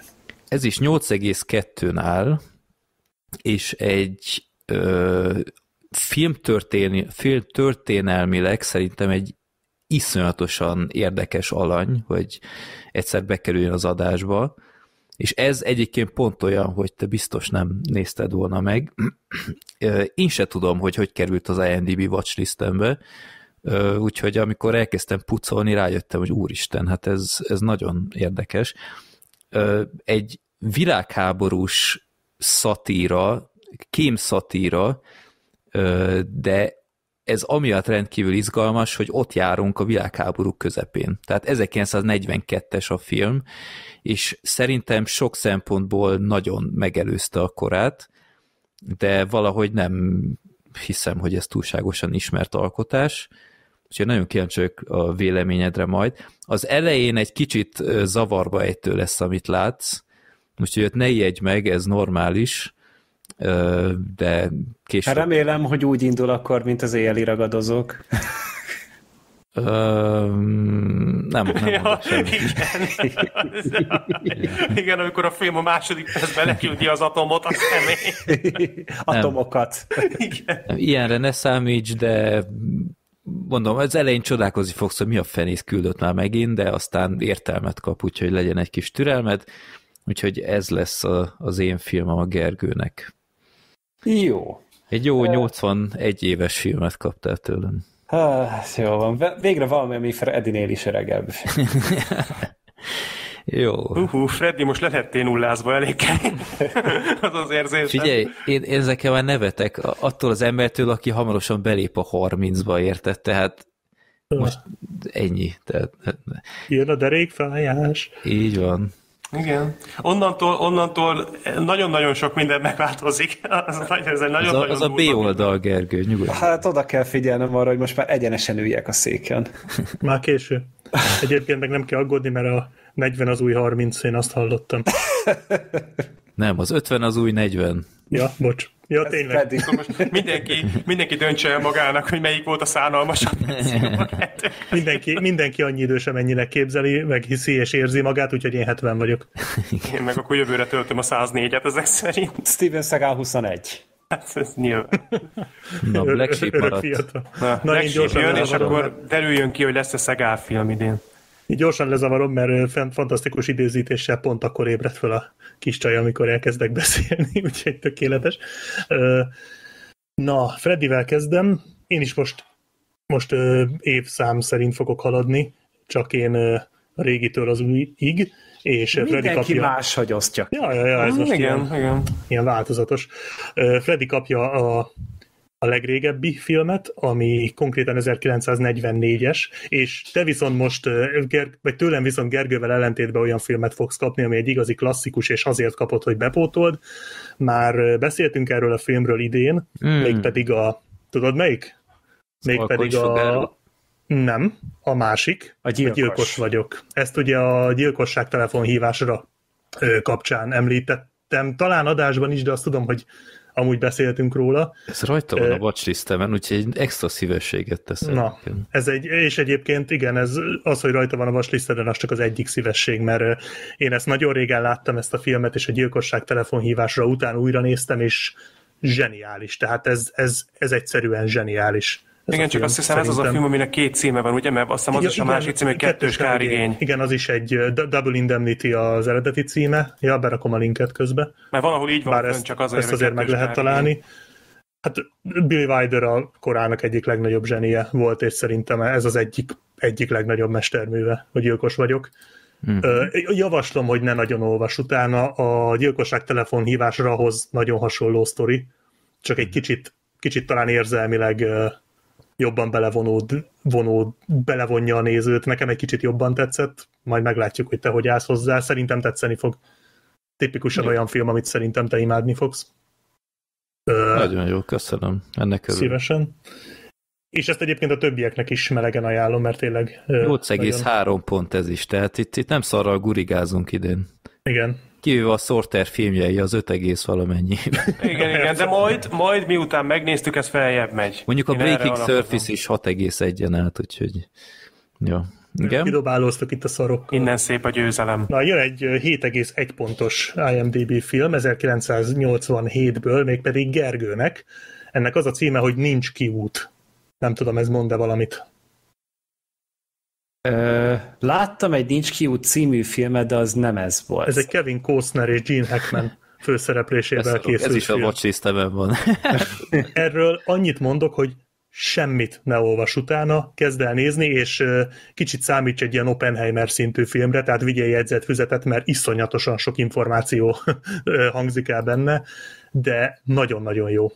Ez egy ilyen, hát ilyen krimi thriller cucc. Aha. Ez volt a Vox-ban, kultrovatban pár és én, és én onna azért néztem meg. Ja, ja, ja. Tehát ez volt a Vox-ban, és így olvastam róla, és mondom, ez meg Na, mi? Nagyon, Tehát, nagyon érdekes leírása volt. Igen, nagyon jó cikket írtak róla, és uh, felkeltette az érdeklődésem, és megnéztem, és tényleg jó a film. és nem értem, amit, hogy... Mondjad, mondjad csak. Csak annyi, hogy nem értem, hogy ez a film ez hogy veszhetett el ennyire. Én életemben nem hallottam még erről a filmről az el, azelőtt, hogy a Vox-ba olvastam róla. Hát nagyon Igaz, szar plakátja van.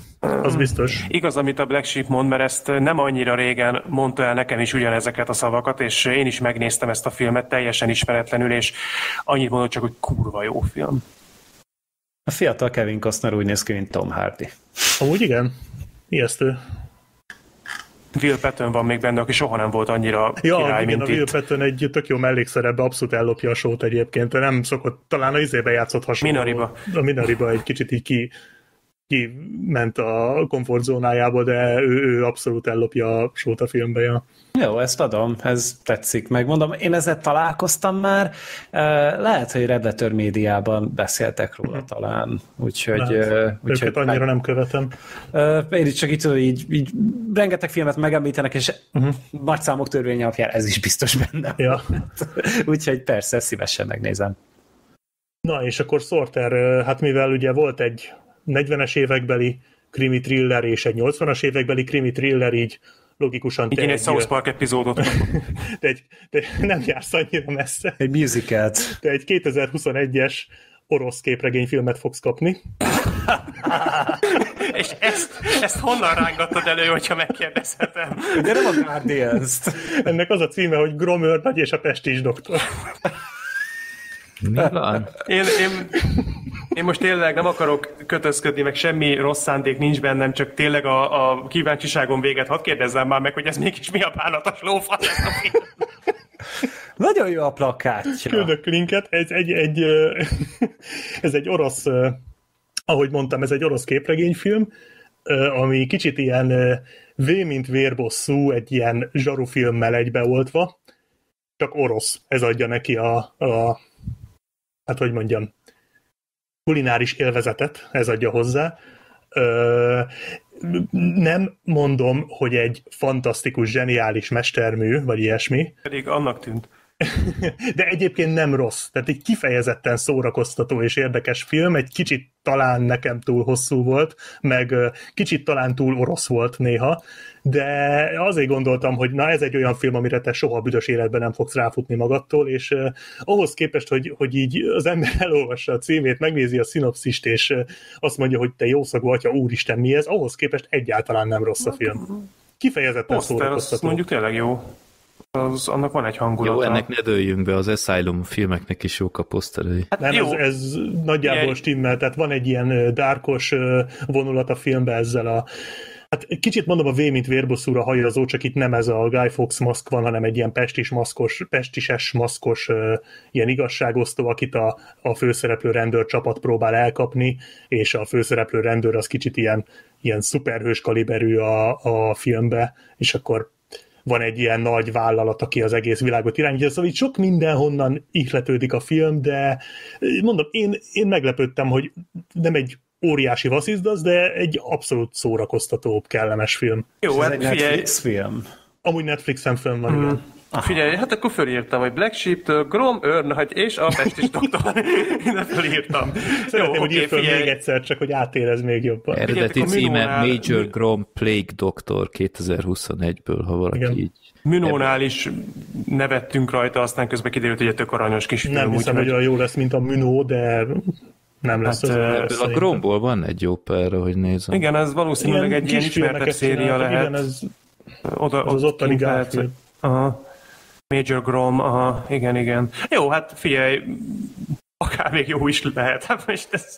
Nem, nem kell semmi hűde komolyra számítanod, de mondjuk annál a másik orosz szuperhős filmnél, annál Guardians-nél? a védelmezőknél, annál jobb. Aha. Jó, most Nem, ez nem nagy dolog. nem fogom azt mondani, hogy ez nem jött kicsikét égyomorra, de, de egyébként kíváncsi vagyok, biztos, biztos jó lesz, úgyhogy jó, hát köszönöm szépen. Erre tényleg nem számítottam. Ez Jó. elég színes a felhozatal. Igen, nem? igen. Igen, de ahogy nézem, az elmúlt évek ázsiai felhozatal az folytatódik, bár most nem általam, hanem most akkor a Ó, igen. Gergő vette át a... Nem baj, azok, azok eddig mindig jól sikerültek. Jó, Ja, akkor, Spirit Walker az menő cucc volt. Akkor egy összefoglaló... Igen, igen, az a kurva jó volt a Spirit Walker. Főleg angol, angol szinkronnal, az, az csodálatos volt. Ez egy új szintje volt a filmnézésnek. Az IMDB pontozásodnak a 100%-a csak a magyar szinkronnak szól. Tehát amikor amúgy se értem, hogy miről Vagy az van angol szó, tehát, szinkronnak. tehát alapból, hogy, hogy minden karakter full ugyanúgy néz ki, és akkor ezek még ugrálnak bazd meg egymás testébe, ugyanolyan a nevük, ugyanolyan a hajuk, ugyanolyan a ruhájuk, ugyanolyan az arcuk. Tudom, most kicsit rasszista vagyok, de én tényleg így értem meg ezt a filmet, Hát- hogy így abszolút, egy tizedik percben nem Én tudtam is. majd, mi történik. Hát ezért mondtam a Gergőnek, hogy jegyzeteljen közben. Mm, nagyon. Jó, akkor Most is olyat kaptam, hogy összefoglalás. jegyzetelnem kell a Black Sheep-től. Na jó, de Gene Hackman meg Kevin Costnert azért szét lehet választani Igen, egymást. őket egy, egymás mellé állnak, azért meg lehet őket különböztetni. Na, akkor összefoglalás, akkor ö, a Gergő kapta tőlem a lenni vagy nem lenni, a 42-es verziót, mert készült egy remake ebből, úgyhogy nem azt, a 42-eset. Black Sheep kapta tőlem az 1960-as az Odut, Sorter tőlem a Breaking Surface-t, Sorter adta Black Sheepnek a 2022-es Hercegnőt, ha minden igaz a Google szerint, akkor Disney fenn van, vagy fenn volt. Mhm. Mm-hmm. Én ott láttam. Sorter adta nekem a 2018-as rendezvút, Sorter adta Gergőnek a 2014-es Last Shift filmet, Gergő adta Black Sheepnek az Üldöző, The Chaser koreai filmet, Gergő adta nekem a második Suicide Squad filmet, Gergő adta Sorternek a Memories of a Murder, a Halál jele című filmet, és Black Sheep adta nekem az 1944-es Gyilkos vagyok filmet, Black Sheep adta Gergőnek a Nincs kiutat, 1987-ből, illetve Black Sheep Sorternek a Major Grom Plague Doctor orosz képregényfilmet. Jó. Akkor ezt a legközelebbi adásig megnézzük, és véleményezzük, és akkor hát kiderül, hogy folytatódik-e a, a harmónia év, mint tavaly, vagy itt megint lesznek ilyen Beavis és Butthead féle összezörrenések. Vagy Szent hegyek. Vagy Szent hegyek, igen. Voltak már ilyenekre is példák, úgyhogy esetleg ti is nyugodtan tartsatok velünk, és nézzetek meg ezek közül minél többet, mi is igyekszünk. Köszönjük, hogy meghallgattad adásunkat. Te is részese lehetsz podcastünknek. Küldj a népakaratorobatunkban maximum három filmet, hát a pont a te beadványodat sorsoljuk ki egyszer. Minden ehhez kapcsolatos információt megtalálsz a filmbarátok.blog.hu oldal almenőjében. Te küldhetsz nekünk villámkérdéseket, észrevételeket, borítóképeket a filmbarátok podcast kukac gmail.com e-mail címre. Örülünk minden levélnek. Podcastünket megtaláljátok Youtube-on, Soundcloud-on, Spotify-on, Deezeren, Twitteren, Facebookon, szóval mondhatni már csak a Wikipédián nem. Ha támogatnád a most már bőven több mint egy évtizedes projektünket, megteheted a patreon.com per filmbarátok oldalon. Nagyon köszönjük, és leginkább a megtisztelő figyelmedet, reméljük velünk tartasz legközelebb is.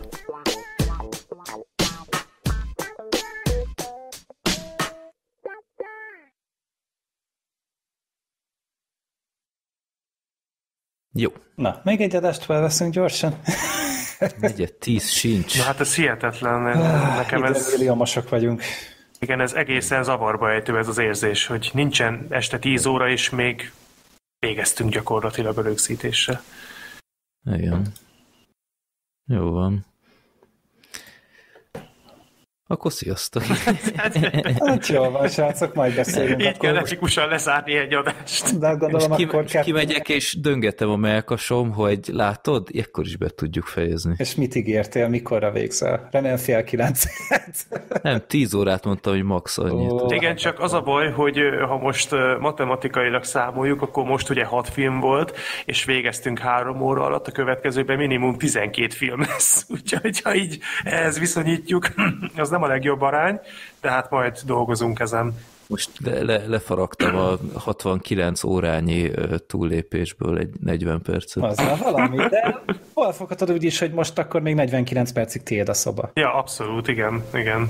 Mm, nem, nem, nem, nem, nem. Ó, Isten. Az a baj, hogy ezek után én holnap a Napóleont nem fogom tudni úgy nézni, hogy ezen ne röhögjek, ez, ez egészen biztos. Akkor is röhögnél, hogyha ezt nem hallottad. Nem, úgy valószínűleg igen. De kíváncsi vagyok, jó lesz, jó lesz. Úgyhogy... Ja, olyan vicces élményem volt, ezt még el, elárulom, hogy beülök a, a Napóleon vetítésre, hallod, egy ilyen, nem tudom, 200 ürés lehetett ott, és talán, nem tudom, öten, ha ben voltak, amikor én beléptem a terembe. és csak így izé, random helyre leültem, mert hát ismétlem tök üres volt az egész terem, és már tiszta ideg voltam, mert a, megint ez a kicseszett büfé jegyárusítás kombó van, és mindenkinek a szaros nacho szószát végig kellett várnom, hogy a hülye jegyemet megkapjam, mert kicsit késésbe voltam. Úgyhogy csak mondtam, jó, ez a jegy, jó, beülök, kész, és akkor leülök egy helyre, jön három ilyen, nem tudom én, ilyen 16 éves csaj, és a szinte a töküres teremben így odáll, elnézést ez az, hogy mi helyű? Mondtam, ez nem lehetik.